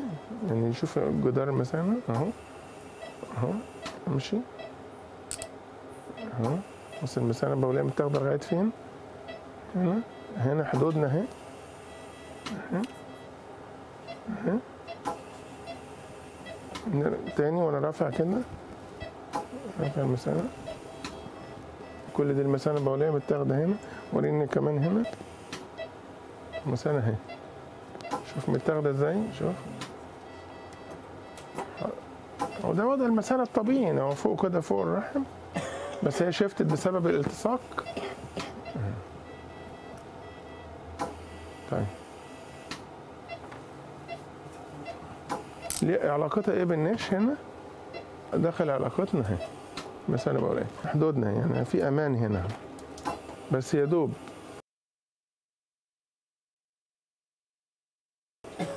هي دي؟ يا دوب إحنا على المثانه البوليه نش اهو غريب إزاي جاية من كأنها بوستيرور بدل وريني بس الحته دي حضرتك بره حدود المثانه كده ماشي. طيب. هات الحتة دي كده. مم. هنا هنا هنا. كل دي bladder. آه، bladder بس آه، يعني نقدر نوصل برضو للفصل ما بين الاثنين قريبة هنا قوي من ال scar عن الحتة دي. فوق هنا. طب نخش بقى في في ال hysteroscope نخش بقى منظار الرحمي. النش اهو وادي السان رايز السان رايز ساين اهي. نخش هنا. اهو. نش بالكامل اهو. مفيش ماسل لاير ويا البيروتون اهو قصادنا. اهو. يعني أنا ممكن لو لو دوست دوس هخش أنا الرحم من هنا. وراني كده في في الهيستروسكوب بقى واضحة إزاي؟ ده إحنا داخلين كده من أول عنق الرحم ده اللي عمل كل مشاكلنا. تأخر الإنجاب آه طبعا لأن دي بركة بعد القصف تخش فيها الحيوانات المنوية. بركة بتخلي بعد ما الدورة الرحمية تنتهي تجمع هنا. بعد كده ينزل نقط دم ما بعد الجماع. آه، الام في الدورة لبعض الناس تكرار في البول. هنبدأ بقى نشتغل. هنسلك المثانة البولية اللي بدأت تتملي عشان نعرف حدودنا من الرحم عشان نكشف النش ده ونشيله إن شاء الله بالمنظار وبعد كده نبدأ نصلح الرحم تاني. أنت قلت لي طبعا عشان الوقت ده هم. آه هو الوقت ده همنا فأنا طلبت من حضرتك حاجة مهمة قوي إن إحنا نعمل part 2 للنش. لأنه آه، يعني النش أهميته حياة. التعب اللي فيه يستحق part 2 و 3 وحياة لا آه. يعني حياة لما نشوف ده الجزء الخاص بال gyne آه. و و ولسه الولادة ولسه الحدوتة ولسه حمل خارج الرحم حواديت كتيرة جدا. تعال نشوف حالة تانية. أوكي. بموقف آخر إزاي النش كان موجود هنا في مكان؟ ممكن يبقى في موجود في مكان تاني؟ آه. تعالوا نشوف مع بعض. عندنا مريضة جاية بتشتكي. بعد قيصرية بقى لها شهرين ونص إن في جرح القيصرية بيجيب أحيانا صديد. لما عملت آخر قيصرية من شهرين ونص كان حصل إنها سخنت ودرجة الحراره بدأت ترتفع وتوصل إلى 40 على اليوم ال 15 كانت دخلت كأنه شلل امعاء وحرارة مرتفعة وبطن منتفخة. السونار جمع إن في صديد عملوا drain للصديد. قبل ما يعملوا drain للصديد كان عمل حصل التهاب بريتوني وكان حصل إن كمان في استسقاء على الرئة.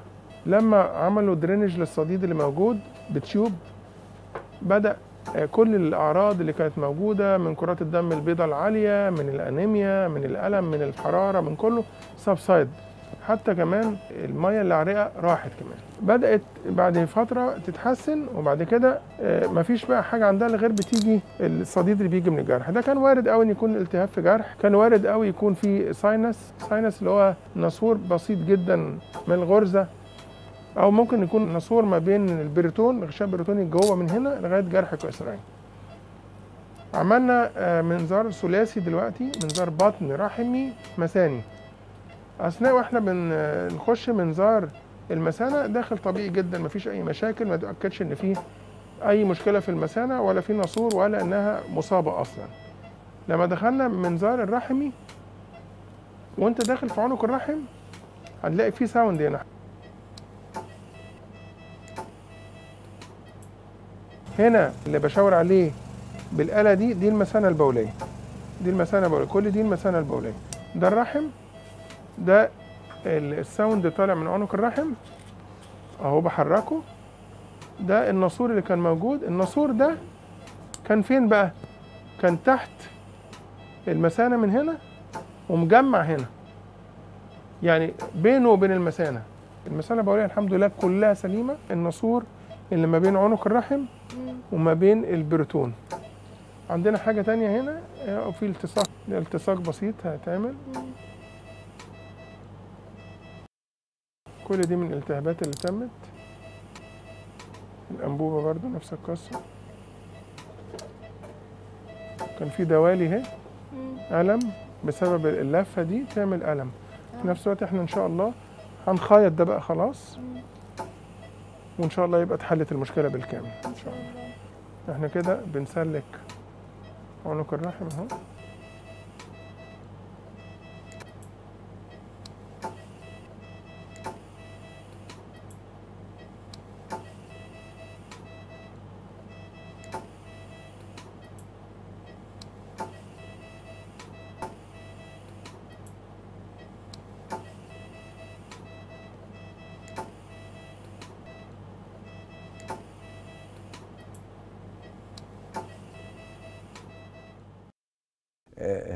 عمل وراه شغل كتير وجهد كبير جدا. لكن النيش أو هذا الفات أو هذه الحالة الطبية الجراحية تحتاج إلى سلسلة.